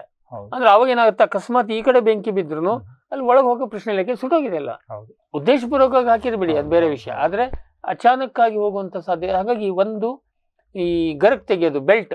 ಹೌದು ಫೈರ್ ಬೆಲ್ಟ್. ಫೈರ್ ಬೆಲ್ಟ್ ಅನ್ನ ಕ್ಲೀನ್ ಮಾಡಕ್ಕೆ ನಮ್ಮಲ್ಲಿ ಸಾಧ್ಯ ಇಲ್ಲ. ಅಥವಾ ಅದು ದುಬಾರಿ ಕೆಲಸ. ಕಲ್ಲು ಕಂಟೆ ಅಲ್ಲಿ ನಾವು ಸುಡೋ ಪದ್ಧತಿ ಇತ್ತು. ಒಂದು ನೀವು ಹೇಳೋದು ಈಗ ಇಲ್ಲಿ ನಾವು ಬೇರೆ ಬಯಲ್ಸೀಮೆ ಅಂತ ಕಂಟೆಕ್ಸ್ಟ್ ಬಂದಾಗ ಕ್ಲೀನ್ ಮಾಡಿದ್ರು ಸಾಕು. ಒಂದು ಒಟ್ಟಲ್ಲಿ ಫೈರ್ ಬೆಲ್ಟ್ ಇರಬೇಕು. ನೀವು ಹೇಳಿದ ಅದೇ ನೋಡಿ ಕಂಟ್ರೋಲ್ ಬರ್ನಿಂಗ್ ಮಾಡ್ತಾರೆ ಕೆಲವರು. ಅದ್ರ ಎದುರುಗಡೆ ಅವರೇ ನಿಂತ್ಕೊಂಡ್ಬಿಟ್ಟು ಅದನ್ನ ಮಾಡ್ಬೇಕು. ಎದುರುಗಡೆ ನಿಂತ್ಕೊಂಡು ಎಲ್ಲ ಸನ್ನದ್ಧತೆ ಇರ್ಬೇಕು ಅವಾಗ. ನೀವು ಹಸಿ ಸೊಪ್ಪನ್ನೇ ಉದ್ದುದ್ದ ಹಸಿ ಸೊಪ್ಪದ ಒಂದು ಪೆಂಡಿ ಮಾಡ್ಕೊಂಡ್ಬಿಟ್ಟು ಅದನ್ನ ಹೊಡಿಬೇಕು. ಈ ಕಡೆ ಮತ್ತೆ ಬರದಾಗೆ ಮತ್ತೆ ಸ್ವಲ್ಪ ನೀರನ್ನು ಇಟ್ಕೊಂಡಿರ್ಬೇಕು ಅವರು. ಅಕಸ್ಮಾತ್ ಏನಾದ್ರು ಈ ಸೊಪ್ಪಿನಿಂದ ಅದು ಕಂಟ್ರೋಲ್ ಸ್ವಲ್ಪ ನೀರು ಹಾಕ್ಬಿಟ್ಟು ಅದನ್ನೇ ಕಂಟ್ರೋಲ್ ಮಾಡಕ್ಕೆ ಉಪಶಮನಗೊಳಿಸಕ್ ಉಪಶಮನಗೊಳಿಸಕ್ಕೆ ಅದು ಬೇಕಾಗುತ್ತೆ. ಹೌದು ಮತ್ತೆ ಈ ತರ ಬೆಂಕಿ ಹಾಕೋರು ಮೊಬೈಲ್ ತಗೊಂಡು ಹೋಗ್ಬಾರ್ದು ವಾಟ್ಸಪ್ ನೋಡಬಾರ್ದು. ಇವರು ಬೆಂಕಿ ಕೊಟ್ಕೊಂಡು ಎಷ್ಟು ಯಾಕೆ ನಾವೆಲ್ಲ ಅನುಭವಿಸಿದ್ವಿ? ಇಷ್ಟು ಫಾಸ್ಟ್ ಹೋಗ್ತದೆ ಒಂದೇ ಸರಿ ಜನರಂತ ಮೇಲೆ ಹೋಗ್ಬಿಡ್ತದೆ ನಮ್ಮ. ನಿರೀಕ್ಷೆ ಮೇಲೆ. ಆವಾಗ ವಾಟ್ಸಪ್ ನೋಡುವ ಟೈಮ್ನಲ್ಲಿ ನಲ್ಲಿ ಹೋದ್ರೆ ತೋಟಕ್ಕೆ ಬಂದ್ಬಿಡುತ್ತೆ ಬೆಂಕಿ. ಹೌದು. ಮತ್ತೆ ಇನ್ನೊಂದು ನೋಡಿ ತಾವು ನಿಯಂತ್ರಣ ಮುಂಜಾಗ್ರತಾ ಕ್ರಮದಲ್ಲಿ ಇನ್ನೊಂದು ಮುಖ್ಯವಾಗಿದೆ ಏನಂತಂದ್ರೆ ಎಸ್ಪೆಷಲಿ ಈ ಸಾವಯವ ಬೇಸಾಯ ಮಾಡೋರು ಅಥವಾ ಸಾವಯವ ಬೇಸಾಯ ಮಾಡದೆ ಇನ್ನೂ ಕೆಲವು ಅಲ್ಲಿ ಕೆಲವೊಂದು ಇದನ್ನ ನೋಡಿ ಆರ್ಗ್ಯಾನಿಕ್ ಲೀಟರ್ ಉಳಿಸ್ಕೊಂಡವರು. ಅದೇನ್ ಮಾಡ್ತಾರೆ ಸಾಮಾನ್ಯವಾಗಿ ಎಲ್ಲ ರೈತರು ಗಿಡದ ಬುಡಕ್ಕೆ ಹಾಕ್ಬಿಡ್ತಾರೆ. ಗಿಡದ ಬುಡಕ್ಕೆ ಇವನ್ ತೆಂಗಿನ ತೋಟದಲ್ಲೇ ನಾಡಿದ್ದೀನಿ ಎಲ್ಲ ಬುಡಕ್ ಒಟ್ಟು- ಬಿಟ್ಟಿದ್ದಾರೆ ಒಂದು ನಾಗಮಂಗಲದಲ್ಲಿ ಒಂದು ದೊಡ್ಡ ಬೆಂಕಿ ಅನಾಹುತ ಆದಾಗ ಸುಮಾರು ಐದು ಎಕರೆ ತೆಂಗಿನ ತೋಟ ಸುಟ್ಟೋಯ್ತು. ಅಲ್ಲಿ ಹೇಳ್ತಾರೆ ಅವರು ಅಲ್ಲಿ ಪ್ರತ್ಯಕ್ಷ ದರ್ಶಕರು ಇಪ್ಪತ್ತಡಿವರೆಗೂ ಬೆಂಕಿ ನಾಲ್ಗೆಗಳು ಮೇಲಿದ್ದು ಇಪ್ಪತ್ತಡಿವರೆಗೂ ಹೋಗಿತ್ತಂತದ್ದು. ಅದ್ರ ಆಚೆಗೆ ಮತ್ತೆ ಇನ್ನಿನ್ ಇಪ್ಪತ್ತಡಿ ಬೀಸಿ ನಲ್ವತ್ತಡಿ ಎತ್ತರದ ಆ ಗಿಡದ ಒಂದು ಮುಕುಟವೇ ಒಣಗಿ. ಸುಟ್ಟು ಹೋಗ್ಬಿಟ್ಟಿದೆ ಅಷ್ಟು ಅದರಿಂದ ಅದೆಲ್ಲ ಯಾಕಂತಂದ್ರೆ ಅಲ್ಲೆಲ್ಲಾ ಗರಿಗಳನ್ನ ಒಟ್ಟು ಬಿಟ್ಟಿದ್ದಾರೆ ಒಂದು. ವರ್ಷದಲ್ಲ ಅನೇಕ ವರ್ಷದಿಂದ ಒಟ್ಟು ಬಿಟ್ಟಿದ್ದಾರೆ ಬುಡಕ್ಕೆ. ಓಕೆ ಎಲ್ಲ ತಗೊಂಡೋಗಿ. ಅಂದ್ರೆ ನೀವ್ ಹೇಳಿದ ಈಗ ಅದನ್ನ ಅಲ್ಲಿ ಆ ರೀತಿ ಒಟ್ಟಬಾರ್ದು ಬಟ್ ಅದನ್ನೆಲ್ಲ ನೋಡಿ ಅದು ತೆಂಗಿನ ತೋಟ ಅಡಿಕೆ ತೋಟ ಆಗಿರ್ಬೋದು ಮತ್ತೊಂದು ತೋಟ ಆಗಿರ್ಬೋದು ಅವನ್ನೆಲ್ಲ ತೊಗೊಂಡೋಗ್ಬಿಟ್ಟು ಒಂದು ಕಡೆ ಒಂದು ನಿರ್ದಿಷ್ಟ ಸ್ಥಳದಲ್ಲಿ ಅದನ್ನು ಶೇಖರಿಸಿಬಿಟ್ಟು ಅಲ್ಲೇ ನಾವು ಇಡಬೇಕು. ಅಥವಾ ಅದನ್ನ ಅದನ್ನ ನೀವು ಈಗ ಮಷಿನ್ಸ್ ಬಂದಿವೆ ಈಗ ಆರ್ಗ್ಯಾನಿಕ್ ಡೆಬ್ರೀಸ್ ಚಾಪರ್ ಅಂತ ಹೇಳಿ ಶಡರ್ ಶಡರ್ ಅದನ್ನ ಪುಡಿ ಪುಡಿ ಮಾಡುತ್ತೆ. ಆ ಪುಡಿ ಮಾಡಿದನೆ ಒಂದು ನೀವು ಅವ್ರಿಗೆ ಒಂದು ಗುಡ್ಡೆ ಹಾಕ್ಬಿಟ್ಟು ಅಥವಾ ಒಂದು ತಿಪ್ಪೆ ಮಾಡಿಬಿಟ್ಟು ಕೊಳೆಸ್ಬಿಟ್ಟು ಅದಾದ್ಮೇಲೆ ಗೊಬ್ಬರವನ್ನು ನಾವು ಗಿಡಕ್ಕೆ ಹಾಕ್ಬೋದು ಬರೀ ಗರಿಗಳನ್ನ ತಂದ್ಬಿಟ್ಟು ಗಿಡದ ಬುಡಕ್ಕೆ ಇಟ್ಬಿಟ್ಟು ಬೆಂಕಿ ಅನಾಹುತಕ್ಕೆ ಆಮಂತ್ರಣ ಕೊಟ್ಟಂಗಾಗುತ್ತೆ. ಆಮೇಲೆ ಇನ್ನೊಂದ್ ಸರ್ ನನ್ಗೆ ಇನ್ನು ಕೆಲವರು ಏನೋ ನೋಡಿ ಇವೆಲ್ಲ ಗರಿಗಳನ್ನ ತಗೊಂಡೋಗ್ಬಿಟ್ಟು ಬೇಲಿಗುಂಟ ಹಾಕ್ಬಿಡ್ತಾರೆ. ಬೇಲಿಗುಂಟ. ಹಾಕೋದನ್ನು ಅಷ್ಟೇ ಅಪಾಯಕಾರಿ. ಅಲ್ಲಿಂದನೂ. ಬೆಂಕಿ ಹತ್ಕೊಂಡು ಈಚೆಗೆ ಬರ್ತದೆ. ಅದಕ್ಕಿಂತ ಟ್ರೆಂಚ್ ಮಾಡಿ ಅಲ್ಲೇ ಹಾಕೋದು ಮಾಡಿ ಅಲ್ಲೇ ಹಾಕೋದು. ಹೇಳ್ದಂಗೆ ಆರ್ಗ್ಯಾನಿಕ್ ಶೆಡ್ಡರ್ ಹಾಕಿ ಪೀಸ್ ಪೀಸ್ ಮಾಡಿಬಿಟ್ಟು ಪುಡಿ ಪುಡಿ ಮಾಡಿ ಹಾಕಿದ್ರೆ ದೊಡ್ಡ ಪ್ರಮಾಣದಲ್ಲಿ ಏನು ತೊಂದರೆ ಒಂದು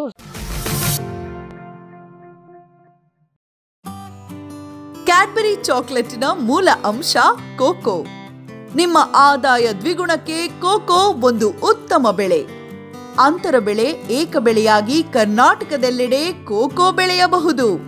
ಹೈಬ್ರಿಡ್ ಎಫ್ ಒನ್ ಗಿಡಗಳ ಪೂರೈಕೆ ಮತ್ತು ಕೋಕೋ ಬೀಜ ಖರೀದಿ ಕ್ಯಾಟ್ಬರಿಯಿಂದ. ಲಕ್ಷಾಂತರ ಎಕರೆ ಬೆಳೆ ವಿಸ್ತರಣೆಗೆ ಇದೇ ಅವಕಾಶ. ಈ ಸದಾವಕಾಶವನ್ನ ಸದ್ಬಳಕೆ ಮಾಡಿಕೊಳ್ಳಿ.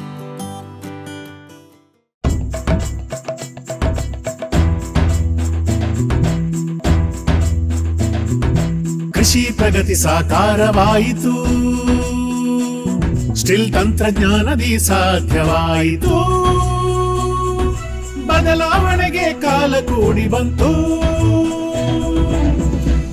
ಸ್ಟಿಲ್ ಉಪಕರಣಗಳು, ತನ್ನಿ ಪರಿವರ್ತನೆ.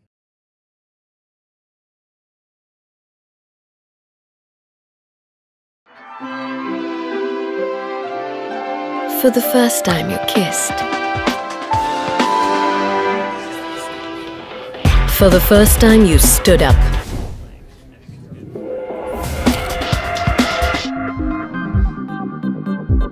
The first time you accepted yourself. For your every first in life, Camco Chocolates.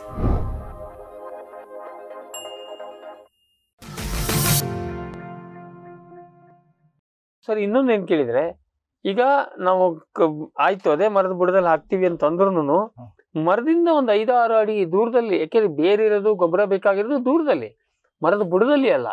ಸುತ್ತ ಹರಡಿಟ್ರೆ ಈಗ ಅಕಸ್ಮಾತ್ ಅವ್ರು ಹೊರಗಡೆ ಹಾಕೋದಿಲ್ಲ ಅಂತ ಆದ್ರೂ ಮರದಿಂದ ಒಂದ್ ನಾಲ್ಕಾರು ಅಡಿ ದೂರದಲ್ಲಿ ಹರಡ್ಬೋದಲ್ವಾ? ಅಲ್ಲಿ ಹರಡಿದ್ರು ಅಪಾಯ ಇದ್ದೇ ಇರ್ತದೆ. ಬೆಂಕಿ ಬಂದ್ರೆ ಅದಕ್ಕೆ ಬೆಂಕಿ ಜಳ ಹಾಕಿದ್ರೆ ನೋಡಿ ಅದೇ ಎರಡು ನೋಡಿ ನೇರವಾಗಿ ಆ ಬೆಂಕಿಯ ನಾಲ್ಗೆಗಳು ಆ ಮರಗಳಿಗೆ ತಗೊಳ್ಳಿಲ್ಲ ಅಂದ್ರೂ ಬಿಸಿ ಇರ್ತದಲ್ಲ ಆ ಶಾಖ ತುಂಬಾ ಇರ್ತದೆ. ಅದು ಅದು ಮೇಲ್ಮುಖವಾಗಿ ಆ ಶಾಖ ಚಲಿಸ್ತಾ ಇರ್ತದೆ. ಈವನ್. ಮೂವತ್ ನಲ್ವತ್ತು ಅಡಿವರೆಗೂ ಹೋಗ್ತಾ ಇರ್ತದೆ ಆ ಶಾಖ. ಮತ್ತೆ ಈಗ ತೆಂಗು ಮತ್ತೆ ಅಡಿಕೆ ಮರಕ್ಕೆ ಒಂದ್ಸರಿ ಬುಡದಲ್ಲಿ ಬೆಂಕಿ ತಾಗಿದ್ರೆ ಸು- ಬೆಂಕಿ ಹಿಡ್ಕೊಳ್ತದೆ. ಯಾಕೆಂದ್ರೆ ಅದ್ರ ಹೊರಗಿನ ಕವರ ಒಣಕ ಒಣಕೊಂಡಿರುತ್ತೆ. ಅಡಿಕೆ ಮರ ಅಂತೂ ಒಣಗಿರುತ್ತೆ. ಹಸಿ ಇರೋದಿಲ್ಲ ಅದು ಅಷ್ಟೊಂದು. ಸೊ ಹಾಗಾಗಿ ಬೆಂಕಿ ತಗೊಂಡ್ರೆ ಮುಗೀತು. ಏನೇ ಆಗಲಿ. ನೋಡಿ ಅದು ನಮ್ಮ ತೆಂಗಾಗಲಿ ಅಡಿಕೆ ಆಗಲಿ ಮಾವು ಅಥವಾ ಹಲಸು ಹುಣಸೆ ಏನೇ ಆಗಿರ್ಲಿ. ಒಂದ್ಸರಿ ಬೆಂಕಿ ಬಿದ್ರೆ ಅಲ್ಲಿ ಸಾಕಷ್ಟು ಹಾನಿ ಉಂಟಾಗುತ್ತೆ. ಆಗತ್ತೆ ಉಂಟಾಗುತ್ತೆ. ಅದು ಸಂಪೂರ್ಣ ಹಾನಿ ಆಗಿರ್ಬೋದು ಅಥವಾ ಅದು ಪಾರ್ಶಿಯಲಿ ಆಗಿರ್ಬೋದು. ಒಟ್ಟಾರೆ ಹಾನಿ ದೊಡ್ಡ ಪ್ರಮಾಣದಲ್ಲೇನೆ ಆಗುತ್ತೆ ನನ್ನ ಪ್ರಕಾರ. ಅದಕ್ಕೆ ಮುಂಜಾಗ್ರತಾ ಕ್ರಮಗಳು ತುಂಬಾ ಅವಶ್ಯಕ ಹೌದು ಹೌದು. ಅದರಿಂದ ಇದೆ. ಸರ್ ಈಗ ಬೆಂಕಿ ಬರಲಾರ್ದಂಗೆ ಮುಂಜಾಗ್ರತೆ ಅಂದ್ರೆ ಈಗ ಹೊರಗಡೆಯಿಂದ ಪಟ್ಟಿ ತೆಗೆಯೋದು ಒಂದು ನಾವು ಬೆಂಕಿ ಹಾಕಿನೇ ನಾವೇ ಕಂಟ್ರೋಲ್ ಬರ್ನಿಂಗ್ ಮಾಡಿ ಬೆಲ್ಟ್ ಮಾಡೋದೊಂದು ಅಥವಾ ಕ್ಲೀನ್ ಮಾಡೋದೊಂದು. ಅದ್ಬಿಟ್ಟು ಅದ್ ಬಿಟ್ಟು ಬೇರೆ ಇನ್ನೇನು ಆಪ್ಷನ್ ಇಲ್ಲ. ಹೌದು. ಹ್ಮ್. ಈಗ ಬೆಂಕಿ ಬಿತ್ತು ಅಂತ ಆದರೆ. ಆವಾಗ ಈಗ ಓಕೆ ಇದೆಲ್ಲ ಕಾಮನ್ ಸೆನ್ಸ್ ಚರ್ಚೆ ಅಂದ್ರೆ ರೈತರಿಗೆ ಗೊತ್ತಿದ್ದ ವಿಚಾರನೇ ಅಂತ ಆದ್ರೂ ಕೂಡ ಬೆಂಕಿ ಬಿತ್ತು ಅಂದ್ರೆ ಏನ್ ಮಾಡ್ಬೇಕಂತ ಪುನಶ್ಚೇತನದ ಬಗ್ಗೆ. ಅದಕ್ಕಿಂತ ಮೊದಲೇ ಅದಕ್ಕೆ ಆ ಹಂತಕ್ಕಿಂತ ಮೊದಲೇ ಬೆಂಕಿ ಆರ್ಸಕ್ಕೆ ಏನಾದ್ರು ಸ್ಪೆಷಲ್ ಟೆಕ್ನಿಕ್ ಇದೆಯಾ ನೋಡಿ ಬೆಂಕಿ ಬಿದ್ದ್ಬಿಟ್ಟಿದೆ ಉರಿತಾ ಇದೆ. ಅವಾಗ ಆಸಕ ಅವರು ಈಗ ಅಗ್ನಿಶಾಮಕ ದಳಕ್ಕೆ ಅವರು ಫೋನ್ ಮಾಡಿ ಹತ್ರ. ಇದ್ರೆ ಅವ್ರ ಲಕ್ ಚೆನ್ನಾಗಿದ್ರೆ ಅದು ಬೇಗನೆ ಬಂದ್ರೆ ಅದು ಸ್ಪ್ರೆಡ್ ಆಗೋದು. ತೋಟಕ್ಕೆ ನೋಡಿ ಬೆಂಕಿ ಬೆಂಕಿ ಇಡೀ ತೋಟದಲ್ಲಿ ಎಲ್ಲಾ ಕಡೆ ಒಟ್ಟಿಗೆ ಬಿದ್ದಿರಲ್ಲ. ಒಂದ್ ಕಡೆಯಿಂದ ಶುರುವಾಗಿ ಒಂದ್ ಕಡೆ ಹಂಗೆ ಹರಡ್ತಾ ಇರ್ತದೆ. ಹಂಗೇನಾದ್ರು ಬೇಗನೆ ಅಗ್ನಿಶಾಮಕ ದಳದ ವಾಹನವನ್ನ ತರಿಸಿದಾಗ ಅದನ್ನ ಅಲ್ಲಿಗೆ ನಿಲ್ಲಿಸಬಹುದಾಗಿದೆ ಅಥವಾ ಇವರೇ ನೋಡಿ ಅದು ತಕ್ಷಣ ಅವರು ಮನೆಯವರಿಗೆ ಗೊತ್ತಾಯ್ತು ಯಾರೋ ಪಕ್ಕದವ್ರು ಅವ್ರು ಫೋನ್ ಮಾಡಿ ವಿಷಯ ತಿಳಿಸಿದ್ರು ಅಂದ್ರೆ ನೀರುಗಳಿಂದ ನೋಡಿ ಈಗೆಲ್ಲ ವಾಟರ್ ಟ್ಯಾಂಕರ್ಸ್ ಎಲ್ಲ ಇರ್ತವೆ. ಹಳ್ಳಿಗಳಲ್ಲಿ ಬೇಕಾದಷ್ಟು ವಾಟರ್ ಟ್ಯಾಂಕರ್ಸ್ ಆ ವಾಟರ್ ಟ್ಯಾಂಕರ್ಸ್ ತಗೊಂಡೋಗ್ಬಿಟ್ಟು ಅಟ್ಲೀಸ್ಟ್ ಒಂದು ಕಡೆಯಿಂದ ನಾವು ಅದನ್ನ ನೀರು ಹಾಕ್ಬಿಟ್ಟು ನೋಡಿ ಬೆಂಕಿ ಹತ್ರ ಹೋಗಕ್ಕಾಗಲ್ಲ ಬಟ್. ಬೆಂಕಿಯಿಂದ ಸ್ವಲ್ಪ ಮುಂಭಾಗದಲ್ಲಿ ಒಂದು ಮೂವತ್ ನಲ್ವತ್ತು ಅಡಿ ದೂರದಲ್ಲಿ ಆ ನೀರನ್ನೇ ಹಾಕಿ ಹಸಿ ಮಾಡಿಬಿಡ್ಬೇಕು ಆ ಭೂಮಿನ. ಹುಲ್ಲು ಕಸನ್ನೇ ಮತ್ತೆ ನೆಲವನ್ನು ಹಸಿ ಮಾಡಿದಾಗ ಆ ಬೆಂಕಿ ಅಲ್ಲಿಗೆ ಬಂದು ನಿಂತು ಬಿಡುತ್ತೆ ಅದನ್ನ ಮುಂದೆ ಆಗುವ ಸ್ಪ್ರೆಡ್ ಆಗುವ ಅನಾಹುತವನ್ನೇ ಅಲ್ಲಿ ಕಡಿಮೆ ಮಾಡ್ಬೋದು. ಕಡಿಮೆ ಇದನ್ನ ಮಾಡ್ಬೋದು. ಮಾಡ್ಬೋದು. ಯಾಕಂದ್ರೆ ನಾನು ನೋಡಿದ್ದೇನೆ ಎಲ್ಲಾ ಹಳ್ಳಿಗಳಲ್ಲಿ ಇವತ್ತು ವಾಟರ್ ಟ್ಯಾಂಕರ್ಸ್ ಇವೆ. ಬಟ್ ಇಲ್ಲಿ ಸರಿ ಟೊಪೋಗ್ರಫಿ ಕೌಂಟ್ ಆಗುತ್ತೆ. ಏನಾಗುತ್ತೆ? ಈ ಬಯಲುಸೀಮೆಯಲ್ಲಿ ನೀವ್ ಹೇಳಿದ್ ಕರೆಕ್ಟ್. ಬಟ್ ನಮ್ಮ ಮಲ್ನಾಡಿನ ಭಾಗಕ್ಕೆ ಬಂದ್ರೆ ಅಲ್ಲಿ ಹೋಗಕ್ ಆಗದೇನೆ ಇಲ್ಲ. ಆಗಲ್ಲ ನೋಡಿ. ಗಾಡಿನೇ ಹೋಗಲ್ಲ ಗಾಡಿ ಹೋಗಕ್ ಆಗಲ್ಲ ತೋಟದ ಒಳಗೆ ಇಳಿಯಕ್ ಆಗಲ್ಲ ಆಗಲ್ಲ ಅಲ್ಲಿ ಮತ್ತೆ ಅವಾಗ ನೀರ್ ಸಡನ್ ಆಗಿ ನೀರ್ ತುಂಬಿಸಿನಲ್ಲ ಕೆಲವು ವಾಟರ್ ಟ್ಯಾಂಕರ್ಗಳು ಯಾವಾಗ್ಲೂ ನೀರ್ ತುಂಬಿಕೊಂಡು ಬೆಂಕಿ ಬೀಳುತ್ತೆ ಅಂತ ನಿಂತಿರಲ್ಲ. ಅವಾಗ ನೀರ್ ತುಂಬಿಸಕ್ಕೆ ಸುಮಾರು ಸಮಯ ಆಗುತ್ತೆ. ಅಷ್ಟೊತ್ತಿಗೆ ಬೆಂಕಿ ಬೆಂಕಿ ಸ್ಪ್ರೆಡ್ ಸೊ ಆಗ್ತದೆ ಅದೊಂದು. ಆಮೇಲೆ ಮ್ಯಾನ್ಯುವಲಿ ನಮ್ಮಲ್ಲಿ ಪದ್ಧತಿ ಇದ್ದಿದ್ದು ಅದೇ ನೀವು ಮರದ್ದು ಟೊಂಗೆ ತಗೊಂಡು ಸೊಪ್ಪು. ಸೊಪ್ಪಿಂದು ಸೊಪ್ಪಿಂದು ಉದ್ದ ಹಿಡಿಕೆ ಮಾಡ್ಬಿಟ್ಟು ಅದು ಅದು ಒಂದು ಹತ್ತು ಇಪ್ಪತ್ತು ಜನ ಅಥವಾ ಎಷ್ಟು ಜನ ಸಾಧ್ಯ ಅಷ್ಟು ಜನ ಅದು ಹೊಡಿ ಕರೆಕ್ಟ್ ಹೊಡೆದು ಹೊಡೆದು ಅಲ್ಲಿಗೆ ನಿಲ್ಲಿಸ್ಬಿಡ್ಬೇಕಷ್ಟೇ ಅದು ಕೆಲವು ಸಲ ಸುಮಾರು ಕಡೆ ಹೆಲ್ಪ್ ಆಗಿದೆ. ಬಟ್ ಬಟ್ ತಕ್ಷಣ ಅವ್ರಿಗೆ ಗೊತ್ತಾಗಬೇಕು. ರಾತ್ರಿ. ಬೆಂಕಿ ಬಿದ್ದಾಗ ನೋಡಿ ಇವತ್ತು ರಾತ್ರಿ ಎಲ್ಲರೂ ಊಟ ಮಾಡಿ ಮಲ್ಕೊಂಡ್ ಮೇಲೆ ಬೆಂಕಿ ಬಿದ್ರೆ ಹೇಗೆ ಗೊತ್ತಾಗುತ್ತೆ? ಯಾರಿಗೆ ಬೆಳಿಗ್ಗೆ ಬಂದು ನೋಡಿದಾಗ ತೋಟ ಎಲ್ಲ ಸುಟ್ಟು ಕರಕಲಾಗಿರ್ತದೆ. ಅದರಿಂದ ಇಂಥವೆಲ್ಲ ನೈಟ್ ಕೆಲವು ಸಲ ಉದ್ದೇಶಪೂರ್ವಕವಾಗಿ ಬೆಂಕಿ ಹಾಕೋರೆಲ್ಲ night night after ten twelve one o'clock ಬೆಂಕಿ ಹಾಕ್ತಾರೆ ಅವರೆಲ್ಲ.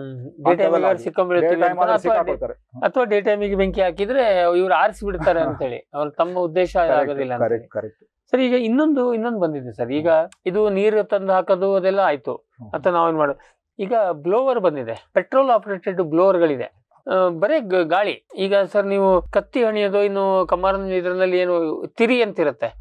ಗಾಳಿ ಊದೋದು ಅದು ಬ್ಲೋಯರ್ ಅಲ್ವಾ? ಅದೇ ಬ್ಲೋಯರ್ ಈಗ ಪೆಟ್ರೋಲ್ ಆಪರೇಟೆಡ್ ಸುಮಾರು ಸ್ಟಿಲ್ ಬೇರೆ ಬೇರೆ ಕಂಪ್ನಿ ಬಂದಿದೆ. ಅದನ್ನ ಬಗಲಿಗೆ ಹಾಕೊಳ್ಳೋದು.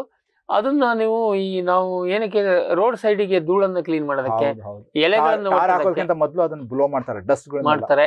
ಆಮೇಲೆ ಅದೆಲ್ಲ ಈ ಎಲೆಯನ್ನ ಈಗ ಸಾಮಾನ್ಯ ದಿನಗಳಲ್ಲೂ ಎಲೆಯನ್ನ ಗು- ಕಸಬರಿಗೆ ತಗೊಂಡು ಹೊಡೆಯೋ ಬದಲಿಗೆ ಬ್ಲೋರ್ ಇಟ್ಕೊಂಡು ಬರ್ರಂತ ಸೊಂಟ ಬಗ್ಗದೇನೆ ಹೊಡ್ಕೊಂಡು ಹೋಗ್ಬಿಡೋದು.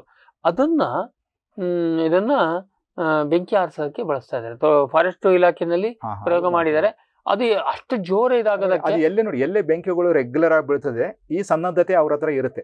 ಬಟ್. ರೈತರ ಪಾಪ ನೋಡಿ ರೈತರದ್ದು ಆರ್ಗನೈಸ್ ಆಗಿರಲ್ಲ. ಅವ್ರೆಲ್ಲೋ ಐಸೋಲೇಟೆಡ್ ಏರಿಯಾದಲ್ಲಿ ಇರ್ತಾರೆ. ಬೇರೆ ಕಾರಣಕ್ಕಿದ್ರೆ ಈಗಾಗಲೇ ಅಂತ ಒಂದು ಕಾಸ್ಟ್ಲಿ ಮಷೀನ್ ಇವರು ಸಣ್ಣ ಸಣ್ಣ ತೋಟಕ್ಕೆಲ್ಲ ಇಟ್ಕೊಳಕ್ ಆಗಲ್ಲ ಇಲ್ಲ ಡಿಪಾರ್ಟ್ಮೆಂಟ್ ಅವ್ರು ಇಟ್ಕೋಬಹುದು ಇಲ್ಲ ಬೆಂಕಿ ಸಲುವಾಗಿ ಇಟ್ಕೊಳ್ಳೋದಿಲ್ಲ ಬಟ್ ಬೇರೆ ಉದ್ದೇಶಗಳಿಗೆ ಸುಮಾರು ಜನರ ಹತ್ರ ಬ್ಲೋರ್ ಇದೆ ಈಗ ಬಂದಿದೆ. ಕಾರಣ ಏನಕ್ಕೆ ಅಂದ್ರೆ ಈ ತರ ಎಲೆ ಏನ್ ಮಾಡೋದಕ್ಕೆ ಆಮೇಲೆ ಕಾಫಿ ಕಣ ಕಾಫಿ ಕಣದಲ್ಲಿ ಕಣ ಕ್ಲೀನ್ ಮಾಡೋದಕ್ಕೆ ಅದಕ್ಕೆ ಸೊಂಟ ಬಗ್ಗಿ ಇದು ಮಾಡೋ ಬದಲಿಗೆ ಬರ್ರಂತ ಹೊಡೆಯೋದು ಅದಕ್ಕೇನು ಬಹಳ ಕಿಮ್ಮತ್ತಿಲ್ಲ. ಈ ಒಂದು ಹತ್ತು ಹದಿನೈದು ಸಾವಿರದಲ್ಲಿ. ಹದಿನೈದು ನೋಡಿ ತಾವ್ ಹೇಳ್ದಂಗೆ ಅಂತದೊಂದು ಈಗ ಲಭ್ಯತೆ ಇದ್ರೆ ಅದನ್ನೇ ಆ- ಹಳ್ಳಿಯಲ್ಲಿ ಬೇರೆಯವ್ರ ಹತ್ರ ಇದ್ರು ಅದನ್ನ ಇಸ್ಕೊಳ್ಬಹುದು ಆ ಮೊಮೆಂಟ್ ಆ ಮೊಮೆಂಟ್ ಅಲ್ಲಿ ಮಾಡುದು. ಬೇಡ ಅಷ್ಟ್ರ ಮಟ್ಟಿಗೆ ಆಗುತ್ತೆ ನಾವು ಈ ಸೊಪ್ಪು ತಗೊಂಡು ಹೊಡಿಯೋ ಒಬ್ಬ ಒಂದು ಐದು ಜನ ಹೊಡೆಯುವಷ್ಟು ಕೆಲಸ ಅದು ಒಂದು ಮಷೀನ್ ಮಾಡಿ ತಾವ್ ಹೇಳ್ದಂಗೆ ನೋಡಿ ತುಂಬಾ ಇದು ವೇಗವಾಗಿ ಗಾಳಿನ ಊದಿದ್ರೆ ಅವಾಗ ಅದು ಆರಿ ಹೋಗುತ್ತೆ. ಯಾವ್ದೊಂದು ಒಂದು- ಬೆಂಕಿ ಕಟ್ಟಿ ಗೀರಿದಾಗ ಅದನ್ನ ನೀವು ಊಬಿದ್ರೆ ಅಥವಾ ಮೇಣ್ಬತ್ತಿ ನೀವು ಊಬಿದ್ರೆ ಅದು ಹೋಗುತ್ತೆ ಫ್ಲೇಮ್. ಹಂಗ ಅಲ್ಲಿನೂ ಹೋಗುತ್ತೆ ಅದು. ಆ ಅದನ್ನ. ಜಾಗ್ರತೆಯಾಗಿ ಮಾಡ್ಬೇಕಾಗುತ್ತೆ. ಓಕೆ. ಸರಿ ಈಗ ಇನ್ನೊಂದು ನಾವು ಕೊನೆ ಹಂತಕ್ಕೆ ಬಂದ್ರೆ ಬೆಂಕಿ ಬಿದ್ದು ಡ್ಯಾಮೇಜ್ ಆಗ್ಬಿಟ್ಟಿದೆ. ಆಯ್ತಾ? ಆಮೇಲೆ ಅರ್ಧಕ್ಕೆ ನನ್ಸಿದ್ವು ಅಥವಾ ಪೂರ್ತಿ ಏನು ಮಾಡೋಕ್ಕಾಗ್ಲಿಲ್ವೋ? ಅವಾಗ ಈಗ ನಾವು ತೋಟದ ಬೆಳೆಗಳಿಗೆ ಬಂದ್ರೆ ಹೊಲದ ಬೆಳೆಗಳಿಗೆ ಹೋಯ್ತು. ಆ ಸೀಸನ್ ಹೋಯ್ತು ಆ ಬೆಳೆ ಹೋಯ್ತು. ಅದಕ್ಕೆ ಇನ್ನೇನು ಪರಿಹಾರ ಇಲ್ಲ. ಈ ಪರ್ಮನೆಂಟ್ ಮರಗಳು ಬಹುವಾರ್ಷಿಕ ಮರಗಳು. ಬಹುವಾರ್ಷಿಕ ಮರಗಳು ನಾವು ಮಾವನ್ನು ತಗೊಂಡ ಮಾವ ಅಥವಾ ಗೋಡಂಬಿ. ಅರ್ಧಂಬರ್ಧ ಸುಟ್ಟಿದೆ ಕೆಲವು ಹೆಚ್ಚಿಗೆ ಸುಟ್ಟಿದೆ ಆ ಸಂದರ್ಭದಲ್ಲಿ ಅದನ್ನ ರಿಕವರಿಗೆ ಹೆಲ್ಪ್ ಆಗುವಂಗೆ ಏನ್ ಮಾಡ್ಬೋದು? ಏನೆಲ್ಲ ಕ್ರಮ ತಗೋಬಹುದು ತಾವು ಹೇಳಿದ್ದು ತುಂಬಾ ಇದಾಗಿದೆ. ಅದು ಏನಂತಂದ್ರೆ ತೋಟ ಭಾಗಶಃ ಸುಟ್ಟಾಗ. ಹ್ಮ್. ಭಾಗಶಃ ಸುಟ್ಟಾಗ ಅಲ್ಲಿ ನಮ್ಗೆ. ಗೊತ್ತಾಗ ಎಲೆಗಳೆಲ್ಲ ಹೋಗಿರ್ತವೆ ಅಥವಾ. ಎಲೆಗಳು ಅರ್ಧಂಬರ್ಧ ಆಗಿರ್ತವೆ. ಅವಾಗ ನಾವು ಏನ್ ಮಾಡ್ಬೇಕಂತಂದ್ರೆ ಆ ಒಣಗಿದ ಅಥವಾ ಸುಟ್ಟಂತ ಜಾಸ್ತಿ ಸುಟ್ಟು ಹಾಳಾಗಿರುವ ಭಾಗಗಳನ್ನ ನಾವು ಹ್ಯಾಂಡ್ ಪ್ರೂನಿಂಗ್ ಸಾ ಅಂತ ಬರ್ತದೆ. ಅಥವಾ ಇವನ್ ಮೆಕ್ಯಾನಿಕಲ್ ಸಾ ಅಂತ ಬರ್ತದೆ. ಮಷಿನ್ ಆಪರೇಟೆಡ್ ಚೇನ್ ಸಾ ಅದ್ರ ಮೂಲಕ ಅದನ್ನೆಲ್ಲ ನಾವು ಕತ್ತರಿಸ್ಬೇಕು. ಕತ್ತರಿಸ್ಬಿಟ್ಟು ಆ ಮೇಲ್ಗಡೆ ಒಣಗಿದ ಲೋಡ್ ಅಂತ ಇರ್ತದಲ್ಲ ಡ್ರೈಡ್ ಅಂಡ್ ಡೆಡ್ ಲೋಡ್ ಅದನ್ನ ನಾವು ತೆಗೆದು ಬಿಡ್ಬೇಕು ಅವಾಗ. ನಾವು ಏನ್ ಉಳಿತದೆ ಅಂದ್ರೆ ಗಿಡದ. ಏನಂತಾರೆ ಲೈವ್ ಸ್ಕೆಲೆಟನ್ ಉಳ್ಕೊಳ್ಳುತ್ತೆ ಜೀವಂತ ಇರುವ ಭಾಗವ. ಉಳ್ಕೊಳ್ತದೆ. ನಮಗೆ ಬೇಕಾಗಿದ್ದು ಅದೇನೆ. ಆ ಡೆಡ್ ಲೋಡ್ ಅಥವಾ ಡ್ರೈಡ್ ಲೋಡ್ ಕರ್ಕಲಾಗಿದ್ದನ್ನು ಉಳಿಸ್ಕೊಳ್ಳೋದ್ರಾಗ ಅರ್ಥನೇ ಇಲ್ಲ ಅದು. ಅವಾಗ ಅದನ್ನ ನಾವು ಅದನ್ನ ತೆಗೆದು ಬಿಟ್ಟು ಮಾಡಬೇಕು ಮತ್ತೆ ಎರಡನೇದು ತೋಟವನ್ನೆಲ್ಲ ಮತ್ತೆ ಕೆಳಗಡೆ ಬುಡಕ್ಕೆಲ್ಲ ನಾವು ಸ್ವಚ್ಛ ಮಾಡಬೇಕು ಬೇಸಿನ ಸ್ವಚ್ಛ. ಮಾಡಿಬಿಟ್ಟು ಆ ತಕ್ಷಣನೇ ನಾವು ಗಿಡಕ್ಕೆ ನೋಡಿ ಆ ಪಾರ್ಶಲಿ ಸುಟ್ಟಾಗ ಟ್ಯಾಂಕರ್ ಮೂಲಕ. ನಾವು ನೀರು ಕೊಡಬೇಕಾಗಿದೆ. ನೀರು ಕೊಡ್ಬೇಕು ನೋಡಿ. ನೀರು ಎಷ್ಟು ಬೇಗನೆ ಕೊಡ್ತೇವೆ? ಎರಡನೇ ದಿನ ಮೂರನೇ ದಿನದ ಆದ್ರೂ ನಾವು ಕೊಡ್ಲೇಬೇಕು ಮರುದಿನ. ಅವಾಗ ಕೊಟ್ಟಾಗ ನೋಡಿ ತಕ್ಷಣ ಅದಕ್ಕೆ ಆಕೆ ನೀರಿನ ರಿಕ್ವೈರ್ಮೆಂಟ್ ಎಷ್ಟಿರ್ತದೆ ಅಂದ್ರೆ ಆ ಮೂಮೆಂಟ್ ಅಲ್ಲಿ ಇವನ್ ಈವನ್ ನೋಡಿ ಎಲೆಗಳು ಇಲ್ಲ ಅಂದ್ರೂ ಸಹ ನೀರು ಆವಿಯಾಗಿ ಹೋಗ್ತಾ ಇರ್ತದೆ. ಸಾಯ್ತಾ ಇರ್ತದೆ. ಅವಾಗ ಒಳಗಡೆ ಅದು ಫಿಸಿಯಾಲಜಿಕಲ್ ಡ್ಯಾಮೇಜ್ ಆಗಿರ್ತದಲ್ಲ ಅವಾಗ ನಾವು ನೀರು ಕೊಟ್ಟಾಗ ಸಾಕಷ್ಟು ಚೇತರಿಸ್ಕೊಳ್ತದೆ ತಕ್ಷಣ ಉಳ್ಕೊಳ್ತದೆ. ಅವಾಗ ಇಲ್ಲಾಂದ್ರೆ ಅದು ಕೊಡ್ಲಿಲ್ಲ ಅಂದ್ರೆ ಏನಾಗುತ್ತೆ ಅಂತಂದ್ರೆ ಆ ಬಿಸಿಯ ಜಳಕ್ಕೆ ತುತ್ತಾದಂತಹ ಕಾಂಡ ಮತ್ತು ಬೊಡ್ಡೆ ಸೀಳ್ಕೊಳ್ತದೆ. ಸೀಳ್ಕೊಂಡ್ಬಿಟ್ಟು ಅದ್ರ ಮೂಲಕ ಸ್ಯಾಪ್ ಹೊರಗಡೆ ಬಂದ್ಬಿಟ್ಟು ಎಲ್ಲಾ ಕಡೆನೂ ಅಂಟು ಶುರುವಾಗುತ್ತದೆ. ನಾವು ನೀರು ಕೊಟ್ಟಾಗ ಆ- ರೀತಿ ಕ್ರ್ಯಾಕ್ ಆಗೋದು ಅಂಟು ಸೋರುವ ಪ್ರಮಾಣ ಕಡಿಮೆ ಆಗುತ್ತೆ. ಕಡಿಮೆ ಆಗುತ್ತೆ. ಒಳಗಡೆ ಜೀವ ಹಿಡ್ಕೊಳಕ್ ಅನುಕೂಲ ಆಗುತ್ತೆ ಅದು. ಅದರಿಂದ ತಕ್ಷಣ ನಾವು ಗಿಡಗಳಿಗೆ ನೀರು ಕೊಡ್ಲೇಬೇಕು. ಗಿಡದ. ಯಾವ ಸೈಜ್ ಇದೆ ಅದ್ರ ಪ್ರಮಾಣದ ಮೇಲೆ ಸಾಕಷ್ಟು ನೀರು ಕೊಡಬೇಕು. ಅಲ್ಲಿ ಯಾವ ರೀತಿಯಿಂದ ಮತ್ತೆ ಚೌಕಾಸಿ ಮಾಡಬಾರ್ದು. ಸ್ವಲ್ಪ ನೀರು ಜಾಸ್ತಿನೇ ಕೊಡಬೇಕು. ಅದನ್ನು ಕೊಟ್ಟಾಗ ಅದು ಚೇತರಿಸ್ಕೊಳಕ್ಕೆ ಪ್ರಥಮ ಚಿಕಿತ್ಸೆ ಇದ್ದಂಗೆ ಪ್ರಥಮ ಚಿಕಿತ್ಸೆ ಆಗುತ್ತೆ ಚಿಕಿತ್ಸೆ ಅದಾಗುತ್ತೆ ಮತ್ತೆ ಅದಕ್ಕೆ ನಾನು ಈಗಾಗಲೇ ಹೇಳಿದಂಗೆ ಒಣಗಿದ ಭಾಗಗಳನ್ನೆಲ್ಲ ತೆಗಿಬೇಕು. ಮೂರನೇದು ಏನಂದ್ರೆ ಈ ಸುಟ್ಟು ಬೆಂದು ಮತ್ತು ಗಮ್ಮು ಸೋರಿದ ಎಲ್ಲಾ ಭಾಗಗಳಲ್ಲಿ ಇನ್ಫೆಕ್ಷನ್ ಆಗುತ್ತೆ. ಓಕೆ ಎರಡಾಗ್ಬೋದು ಎರಡು ಆಗ್ಬೋದು ಸ್ವಾಭಾವಿಕ. ಎ- ಒಂದೇ ಮುಖ್ಯವಾಗಿ ಶಿಲೀಂಧ್ರ ನಾಶಕ ಶಿಲೀಂಧ್ರ ಶಿಲೀಂಧ್ರ ರೋಗಗಳು ಬರ್ಬೋದು. ಬೂಸ್ಟ್. ಎರಡನೇದೇನಂದ್ರೆ ಬೋರೋರ್ಸ್ ನೋಡಿ ಈ ಡ್ರೈ ವುಡ್ ಅಥವಾ ಡೆಡ್ ವುಡ್ ಅಥವಾ ಪಾರ್ಶಿಯಲಿ ಡೆಡ್ ವುಡ್ ಅಥವಾ ಡೈಯಿಂಗ್ ವುಡ್ ಅನ್ನು ತಿನ್ನಕ್ಕಾಗಿ ಕ್ರ್ಯಾಕ್ ಆದಲ್ಲಿ ಕ್ರ್ಯಾಕ್ ಆದಲ್ಲಿ ನಾನಾ ವಿಧದ ಕೀಟಗಳು ಇರ್ತವೆ. ಈ ಬಹುವಾರ್ಷಿಕ ತೋಟಗಾರಿಕೆ. ಮರಗಳಿಗೆ. ಪಿನ್ ಹೋಲ್ ಬೋರರ್ ಕುಟ್ಟದಿಂದ ಹಿಡಿದು ಬಿಟ್ಟು ಸ್ಟೆಮ್ ಬೋರರ್ ವರೆಗೂ ಬರ್ತವೆ ಮತ್ತೆ ಗಾಯ ಆದ ಭಾಗಕ್ಕೆ ಅಲ್ಲಿ ಫಂಗಸ್ ಡೆವಲಪ್ ಆಗುತ್ತೆ. ಅಲ್ಲಿ. ಅವಾಗ ಅಲ್ಲಿ ಏನ್ ಮಾಡ್ಬೇಕಂದ್ರೆ ಎಲ್ಲ ನಾವು ಕೊರೆದು ಕೊರೆದಿರ್ತೇವಲ್ಲ ಆ. ಕೊರೆದ ಎಲ್ಲಾ ಭಾಗಗಳಿಗೂ ಫಸ್ಟ್ ನಾವು ನಾವು ಕಾಂಡ ರಕ್ಷಣಾ ಪೇಸ್ಟ್ ಅಂತ ನಾವು ಹೇಳ್ತಿದ್ದೇವಲ್ಲ ಹ್ಮ್, ಹ್ಮ್, ಕಾಂಡ ಹ್ಮ್. ಪೇಸ್ಟ್ ಅನ್ನು ನಾವು ಅದಕ್ಕೆ ಬಳಿಬೇಕು. ಮತ್ತೆ ಇನ್ನೊಂದು ಏನಂತಂದ್ರೆ ಕಾಂಡ ರಕ್ಷಣಾ ಪೇಸ್ಟ್ ಬಳಿದ ಬಳದ ಆದ್ಮೇಲೆ.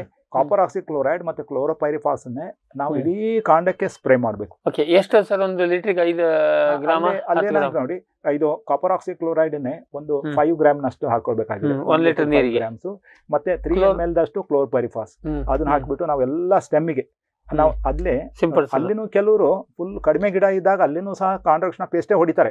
ಬಟ್ ಇಲ್ಲಿ ಲಾರ್ಜ್ ಸ್ಕೇಲ್ನಲ್ಲಿ ಕಾಂಡ್ರಕ್ಷಣ ಪೇಸ್ಟ್ ಹೊಡೆಯಕ್ ಆಗಲ್ಲ. ಅವು ನಾವು ಸ್ಪ್ರೇ ಮಾಡಿದ್ರೆ ಅದೆಲ್ಲಾನು ಅದು ಮೆತ್ತಿಕೊಳ್ಳುತ್ತೆ. ಅದು ಬಿದ್ದುಬಿಟ್ಟು ಕ್ರ್ಯಾಕ್ಗಳಲ್ಲಿ ಅದು ಕಾಂಡಗಳಲ್ಲಿ ಸೀಳಿದಲ್ಲಿ ಪ್ರದೇಶಗಳಲ್ಲಿ ಬಿದ್ದುಬಿಟ್ಟು ಮುಂದೆ ಬರುವಂತಹ ಒಂದು ಬೂಸ್ಟ್ ರೋಗಗಳಾಗಿರ್ಬೋದು ಅಥವಾ ಕೀಟಗಳ. ಬಾಧೆಯಿಂದ ರಕ್ಷಿಸಬಹುದು ಮತ್ತೆ ಅದು ಕೊರದ ಭಾಗಗಳಿಗೆ ನಾವು ಖಂಡಿತ ನಾವು ಮಾಡ್ಲೇಬೇಕು. ಕಾಂಟ್ರಾಕ್ಟ್ ಮಾಡಲೇಬೇಕು. ಅದನ್ನ ಮಾಡಬೇಕು ಮತ್ತೆ ನೀರು ನೋಡಿ ನೀರು ಒಂದ್ಸರಿ ಕೊಟ್ವಿ ತಕ್ಷಣ ಕೊಟ್ಟಿದ್ದೇವೆ. ಅದಾದ್ಮೇಲೆ ಒಂದು seven or eight days ten days ಆದ್ಮೇಲೆ ಇನ್ನೊಂದ್ಸರಿ ಮತ್ತೆ ಚೆನ್ನಾಗಿ. ಚೆನ್ನಾಗಿ. ಕೊಡ್ಬೋದು. ಅಷ್ಟರಲ್ಲಿ ಅವ್ರ ಅದೃಷ್ಟ ಏನಾದ್ರು ಇತ್ತಂದ್ರೆ. ಅಲ್ಲಿ ಮಳೆನೋ ಬಂದ್ರೆ ಸಂತೋಷ ಇಲ್ಲ ಆಗುತ್ತೆ ಹೌದು.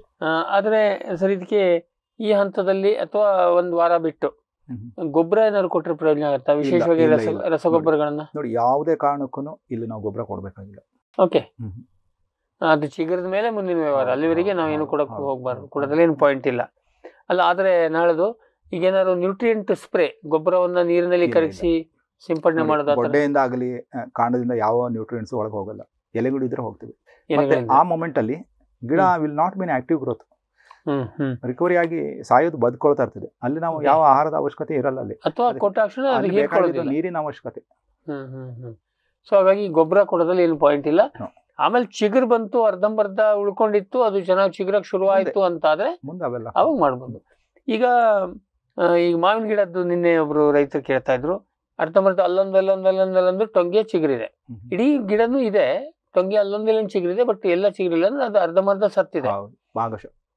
ಅಂತ ಪರಿಸ್ಥಿತಿನಲ್ಲಿ ನಾವೇನಾದರೂ ಅದನ್ನ ಹೆಡಿಂಗ್ ಬ್ಯಾಕ್ ಈಗ ನೀವು ರೀಜುವಿನೇಟ್ ಮಾಡುವಾಗ ಅಥವಾ ಪುನರ್ಜೀವನ ಮಾಡುವಾಗ ಒಂದು ಮೀಟರ್ ಎತ್ತರದಲ್ಲಿ ಕಟ್ ಮಾಡಿ ಆ ಥರದ್ದು ಏನೋ ಪ್ರಾಕ್ಟೀಸ್ ಏನಾದ್ರು ಇದೆಯಾ? ಎಲ್ಲರೂ ಫಾಲೋ ಮಾಡಿದ್ರು? ಮಾಡಿದ್ದಾರೆ ಯಾವ ಭಾಗಗಳು ಎಷ್ಟೆಷ್ಟು ಸುಟ್ಟಿವೆ ಅಂತ ನೋಡ್ಕೊಂಡ್ಬಿಟ್ಟು ಅನವಶ್ಯಕವಾಗಿ ಇರುವಂತಹ ಕೆಲವೊಂದು ರೆಂಬೆಗಳನ್ನು ತೆಗಿಬೇಕಾಗುತ್ತೆ ಅವಾಗ. ಅವಾಗ ನೀವು ಹೇಳ್ದಂಗೆ ಅಲ್ಲಿ ಇಲ್ಲ ನೋಡಿ ಬೆಂಕಿ ಬಿದ್ದಾಗ ಆಟೋಮೆಟಿಕ್ಲಿ ನಾವು ಕಟ್ ಪ್ರೂನ್ ಮಾಡಿದ್ಮೇಲೆ ಅದು ರೀಡಿಂಗ್ ಬ್ಯಾಕ್ ಆಗುತ್ತೆ ಅಲ್ಲಿ. ಎಲ್ಲ ಅಲ್ಲ, ವರ್ಕ್ ಉಳಿಯಲ್ಲ ಅಲ್ಲಿ ಫ್ರೇಮ್ವರ್ಕ್ ಉಳಿಯಲ್ಲ. ಹ್ಮ್. ನಾವು ಬೇಕಾದ್ರೆ ಇನ್ನೂ ಸ್ವಲ್ಪ ನಾವು ಒಂದು ಹೆಜ್ಜೆ ಮುಂದೋಗ್ಬಿಟ್ಟು ಕಡಿಮೆ ಫ್ರೇಮ್ವರ್ಕ್ ಮಾಡ್ಕೋಬಹುದು ಅದ್ ಅವಕಾಶವನ್ನ ಅಥವಾ ಅದೇ ಒಂದು ಪರಿಸ್ಥಿತಿ ನಾವು ಬಳಸ್ಕೊಂಡ್ಬಿಟ್ಟು. ಗಿಡವನ್ನು ಹೆಡ್ ಬ್ಯಾಕ್ ಮಾಡ್ಬಿಟ್ಟು ಸ್ವಲ್ಪ ಕೆಳಗೆ. ತರ್ಬೋದು ಇನ್ನು. ಅಂದ್ರೆ ನೀವು ಹೇಳಿದ್ರೆ ಈಗ ಮೂಲ ಕಾಂಡ ಸುಟ್ಟಿಲ್ಲ ಅದು ಆರೋಗ್ಯದಿಂದ ಇದೆ. ಮೇಲ್ ಮಾತ್ರ ಸುಟ್ಟಿದೆ ಅದು ಹೊರಗಿಂದ ಬೆಂಕಿ ಆ ಸಂದರ್ಭದಲ್ಲಿ ಮಾಡಬಹುದು ಮಾಡಬಹುದು. ಇಲ್ಲಾಂದ್ರೆ ಕಾಂಡನೇ ಅರ್ಧ ಸುಟ್ಟಿದ್ರೆ ಮತ್ತೆ ಅದನ್ನು ಕೊಯ್ದ್ರೆ ಸತ್ತೋಗ್ತದೆ? ಕಾಂಡ ಸುಟ್ಟಾಗ ಮೇಲ್ಭಾಗ ಎಲ್ಲ ಒಣಗಿ ಹೋಗ್ಬಿಡ್ತದೆ ರಿಕವರಿನ ಆಗಲ್ಲ. ಕಾಂಡ ಬೆಂದಾಗ ಈಗ ಅವರು ನಮ್ಮ ನಿನ್ನೆ ನಮ್ಮ ರೈತರು ಕಳಿಸಿದ್ರಲ್ಲಿ ಯಾವುದೋ ಒಂದು ಭಾಗ ಮಾತ್ರ ಜೀವಂತ ಇದ್ದು ಒಂದಷ್ಟು ಟೊಂಗೆಗಳು ಜೀವಂತ ಇದೆ. ಉಳಿದಿದ್ದೆಲ್ಲ ಹೋಗಿದೆ. ಅವಾಗ ನೋಡಿ ಇವನ್ ಕಾಂಡವು ಪಾರ್ಶಿಯಲಿ ಸುಟ್ಟಿರ್ತದೆ ಒಂದ್ ಕಡೆಯಿಂದ. ಅವಾಗ ಅದಕ್ಕೆ ನೀರ್ ಹಾಕೋದ್ರಿಂದ ಅದ್ ಮುಂದೆ ಚೇತರಿಸ್ಕೊಳುತ್ತೆ ಚೇತರಿಸ್ಕೊಳ್ತದೆ. ಅದಕ್ಕೆ. ಕಾಯ್ಬೇಕು ನಾವು. ಅದು ಬಿಟ್ಟು ಬೇರೆ. ಪರಿಹಾರ ಇಲ್ಲ. ಸೊ ಹಾಗಾಗಿ ಇದು ಒಟ್ಟಲ್ಲಿ ಏನ್ ಕೇಳಿದ್ರೆ ಮುನ್ನೆಚ್ಚರಿಕೆನೇ ಸೂಕ್ತವಾದ ವಿಧಾನ. ಮುನ್ನೆಚ್ಚರಿಕೆ ಇದು ಬೆಸ್ಟ್ ಇದಕ್ಕೆ ಪರಿಹಾರ ಇದಕ್ಕೆ. ಬೆಂಕಿ ಬಿದ್ದ ಮೇಲೆ ಬೆಂಕಿ ಬಿದ್ದ ಮೇಲೆ ಬೆಂಕಿ ಬಿದ್ದ ಮೇಲೆ ನೋಡಿ ಡ್ಯಾಮೇಜ್ ಆಗೇ ಆಗಿರ್ತದೆ. ಅದು ಪಾರ್ಶಿಯಲ್ ಫುಲ್ ಫುಲ್ಲನೋ ಡ್ಯಾಮೇಜ್ ಆಗೇ ಆಗುತ್ತೆ. ಆ-. ಸನ್ನಿವೇಶವನ್ನು ನಾವು ಆಮಂತ್ರಿಸಬಾರ್ದು. ನಾವು ಅದನ್ನ ಮುಂಜಾಗ್ರತಾ ಕ್ರಮ ಕೈಗೊಳ್ಳಬೇಕು. ಎಲ್ಲ ರೈತರು ಬಾಂಧವರಲ್ಲಿ ನನ್ನ ವಿನಂತಿ ಏನಂತಂದ್ರೆ ನೋಡಿ ತಾವು ಎಲ್ಲಾ ಕೆಲಸಗಳನ್ನು ಬಿಟ್ಟು ಡಿಸೆಂಬರ್ ಆದ್ಮೇಲೆ ಜನವರಿ ಫೆಬ್ರವರಿ ತಿಂಗಳಲ್ಲಿ ತೋಟವನ್ನು ಸ್ವಚ್ಛವಾಗಿ ಇಟ್ಕೊಳ್ಳಿ. ನೀವು ಯಾಕೆ ಸ್ವಚ್ಛವಾಗಿ ಇಟ್ಕೊಳ್ತಾರೆ? ನಿಮಗಾಗಿ. ನಿಮ್ಮ ಒಂದು ಭವಿಷ್ಯದ ದೃಷ್ಟಿಯಿಂದ ನಿಮ್ಮ ತೋಟದ ಭವಿಷ್ಯದ ದೃಷ್ಟಿಯಿಂದ. ಅದನ್ನ ಇನ್ನೊಂದು ಮಾಡ್ಲೇಬೇಕಾಗುತ್ತೆ ಇನ್ನೊಂದ್ಸಲ ಅಂದ್ರೆ ಇಲ್ಲಿ ಕಳೆಯನ್ನ ನಿಯಂತ್ರಣಕ್ಕೆ ಕಳೆನಾಶಕ ಸಿಂಪಡಣೆನೂ ಸೂಕ್ತ ಅಲ್ಲ. ಯಾಕೆಂದ್ರೆ ಅದರಿಂದ ಮತ್ತೆ ಒಣಗ್ತದೆ ಹುಲ್ಲು. ಹಸಿ ಹೌದು, ಹುಲ್ಲಿದ್ರಿಂದ ಬೆಂಕಿ ಬೀಳಲಿಕ್ಕಿಲ್ಲ. ಕಳೆನಾಶಕ ಹಾಕಿ ಇಡೀ ತೋಟ ನಾವು ಒಣಗಿಸಿಟ್ರೆ ಇನ್ನು ಬೆಂಕಿ ಬೀಳಕ್ಕೆ ಒಳ್ಳೆ ಅವಕಾಶ. ಹಾಗಾಗಿ ಕೊನೆ ಹಂತದಲ್ಲಿ ಕಟ್ಟು ಮಾಡಿ ಆ ಒಣ ಭಾಗ ಇಲ್ದೋದಾಗ ನೋಡ್ಕೊಳ್ಳೋದೆ ಇದಕ್ಕೆ ಸೂಕ್ತ. ವಿಚಾರ. ಪರಿಹಾರ. ವೀಕ್ಷಕರೇ ಈಗ ಇಷ್ಟೊತ್ತು ನಮ್ಮ ಚರ್ಚೆ ನಿಮ್ಗೆ ಅನ್ಸಿರ್ಬೋದು ಇದೆ? ನಮ್ಗೆ ಗೊತ್ತಿದ್ದ ವಿಷಯನೇ ಇವರು ಮತ್ತೆ ಮಾತಾಡ್ತಾ ಇದ್ದಾರೆ ಅಂತ ಖಂಡಿತ. ಇದೆಲ್ಲ ನಾವೇನು ಹೊಸತೇನು ಮಾತಾಡಲಿಲ್ಲ ಅಥವಾ ಹೊಸ ನಿಮಗೆ ಸಂಶೋಧನಾ ಯಾವುದೇ ವರದಿಯನ್ನು ಕೊಡಕ್ಕಿಲ್ಲ. ಯಾಕೆಂದ್ರೆ ಏನಿಲ್ಲ ಆ ಥರದ್ದು ಏನಿಲ್ಲ. ಕಡಿಮೆ ಚರ್ಚೆ ಆದ ವಿಷಯ ಇದು. ಆದರೆ ಇದು ನಾವು ಇದು. ಹಾ ಇದು ನಾವು ಏನಕ್ಕೆ ಈ ಕಾರ್ಯಕ್ರಮ ಮಾಡಿದ್ವಿ ಅಂತ ಕೇಳಿದ್ರೆ ನಿಮ್ಮ ಗಮನ ಸೆಳೆಯೋದಕ್ಕೆ. ಈಗ ಸರಿಯಾದ ಸೀಸನ್ ಇದೆ ಈಗ ನವೆಂಬರ್ ಮುಗಿದು ಡಿಸೆಂಬರ್ ಬರ್ತಾ ಇದೆ ಅಂದ್ರೆ ಅಥವಾ ಈಗ ನಮ್ಮ ಡಿಸೆಂಬರ್ ತಿಂಗಳ ಶುರು ಆಯಿತು ಅಲ್ಲಿ ಏನಂತ ಕೇಳಿದರೆ ಇನ್ಮೇಲೆ ಹೆಂಗಿದ್ರೂ ಮಳೆ ಕಮ್ಮಿ ಆಗ್ತದೆ ಬೇಸಿಗೆ ಬಿತ್ತು ಇದೆಲ್ಲ ಹುಲ್ಲು ಒಣಗುವಂಥ ಟೈಮು ಇನ್ಮೇಲೆ ಬೆಂಕಿ ಹೆದರಿಕೆ ಶುರುವಾಗ್ತದೆ. ಆ, ಬಿಸಿಲಿನ ಜಳ ಶುರುವಾದಂಗೆ ಈವನ್ ಚಳಿಗಾಲದಲ್ಲಿ ಕೂಡ. ಹಾಗಾಗಿ ಇದನ್ನ ನಿಮ್ಗೆ ಗೊತ್ತಿಲ್ಲದ ವಿಷಯ ಏನೂ ಇಲ್ಲ ಅಂತ ಆದರೂ ಕೂಡ ನಿಮ್ಮ ಗಮನ ಸೆಳೆಯೋದಕ್ಕೆ ನಾವು ಈ ಕಾರ್ಯಕ್ರಮವನ್ನು ಮಾಡಿದ್ವಿ ಬಹುಶಃ ಚರ್ಚೆಯಲ್ಲಿ ಕೆಲವೊಂದಷ್ಟು ವಿಷಯಗಳು ನಿಮಗೆ ಅನುಕೂಲಕ್ಕೆ ಬಂತು ಅಂತ ಅಂದ್ಕೊಂಡು ನಮಗೆ ಇಷ್ಟು ಮಾಹಿತಿ ಕೊಡೋದಕ್ಕೆ ಇವತ್ತು ನಮ್ಮಲ್ಲಿ ನಮ್ಮೊಟ್ಟಿಗೆ ಸೇರಿಕೊಂಡಂಥ ಡಾಕ್ಟರ್ ಹಿಟ್ಲಮನಿ ಸರ್ಗೆ ನಿಮ್ಮೆಲ್ಲರ ಪರವಾಗಿ ಮತ್ತು ನಮ್ಮ ವಾಹಿನಿಯ ಪರವಾಗಿ ಧನ್ಯವಾದವನ್ನು ಹೇಳಕ್ಕೆ. ಇಷ್ಟಪಡ್ತೀವಿ. ವೀಕ್ಷಕರೇ ತಮಗೂ ಕೂಡ ಧನ್ಯವಾದಗಳು. ಈ ಬರುವ ಬೇಸಿಗೆಯಲ್ಲಿ ಯಾವುದೇ ಕಾರಣಕ್ಕೆ ಬೆಂಕಿ ಬರಲಾರ್ದಂಗೆ ತೋಟವನ್ನು ಕಾಪಾಡ್ಕೊಳ್ಳಿ. ಅಂತ, ಅಥವಾ ಕಾಪಾಡ್ಕೋತೀರಿ ನಿಮ್ಮ ತೋಟಕ್ಕೆ ಯಾವುದೇ ಕಾರಣಕ್ಕೆ? ತೋಟ ಅಥವಾ ಹೊಲಕ್ಕೆ ಬೆಂಕಿ ಬರೋದಿಲ್ಲ ಅಂತ ಆಸೆ ಇಟ್ಟುಕೊಂಡು ಇವತ್ತಿನ ಜ್ಞಾನ ವಿಜ್ಞಾನಿ ಕಂತನ್ನ ಮುಗಿಸ್ತಾ ಇದ್ದೀವಿ. ನಮಸ್ಕಾರ. ಈ ಕಾರ್ಯಕ್ರಮದ ಪ್ರಾಯೋಜಕರು ಕ್ಯಾಡ್ಬರೀಸ್ ಕೋಕೋ ಬೆಳೆಸಿ, ಅಧಿಕ ಆದಾಯ ಗಳಿಸಿ ಹಾಗೂ ಸ್ಟಿಲ್ ಇಂಡಿಯಾ ಸ್ಟಿಲ್ ಉಪಕರಣಗಳು, ತನ್ನಿ ಪರಿವರ್ತನೆ.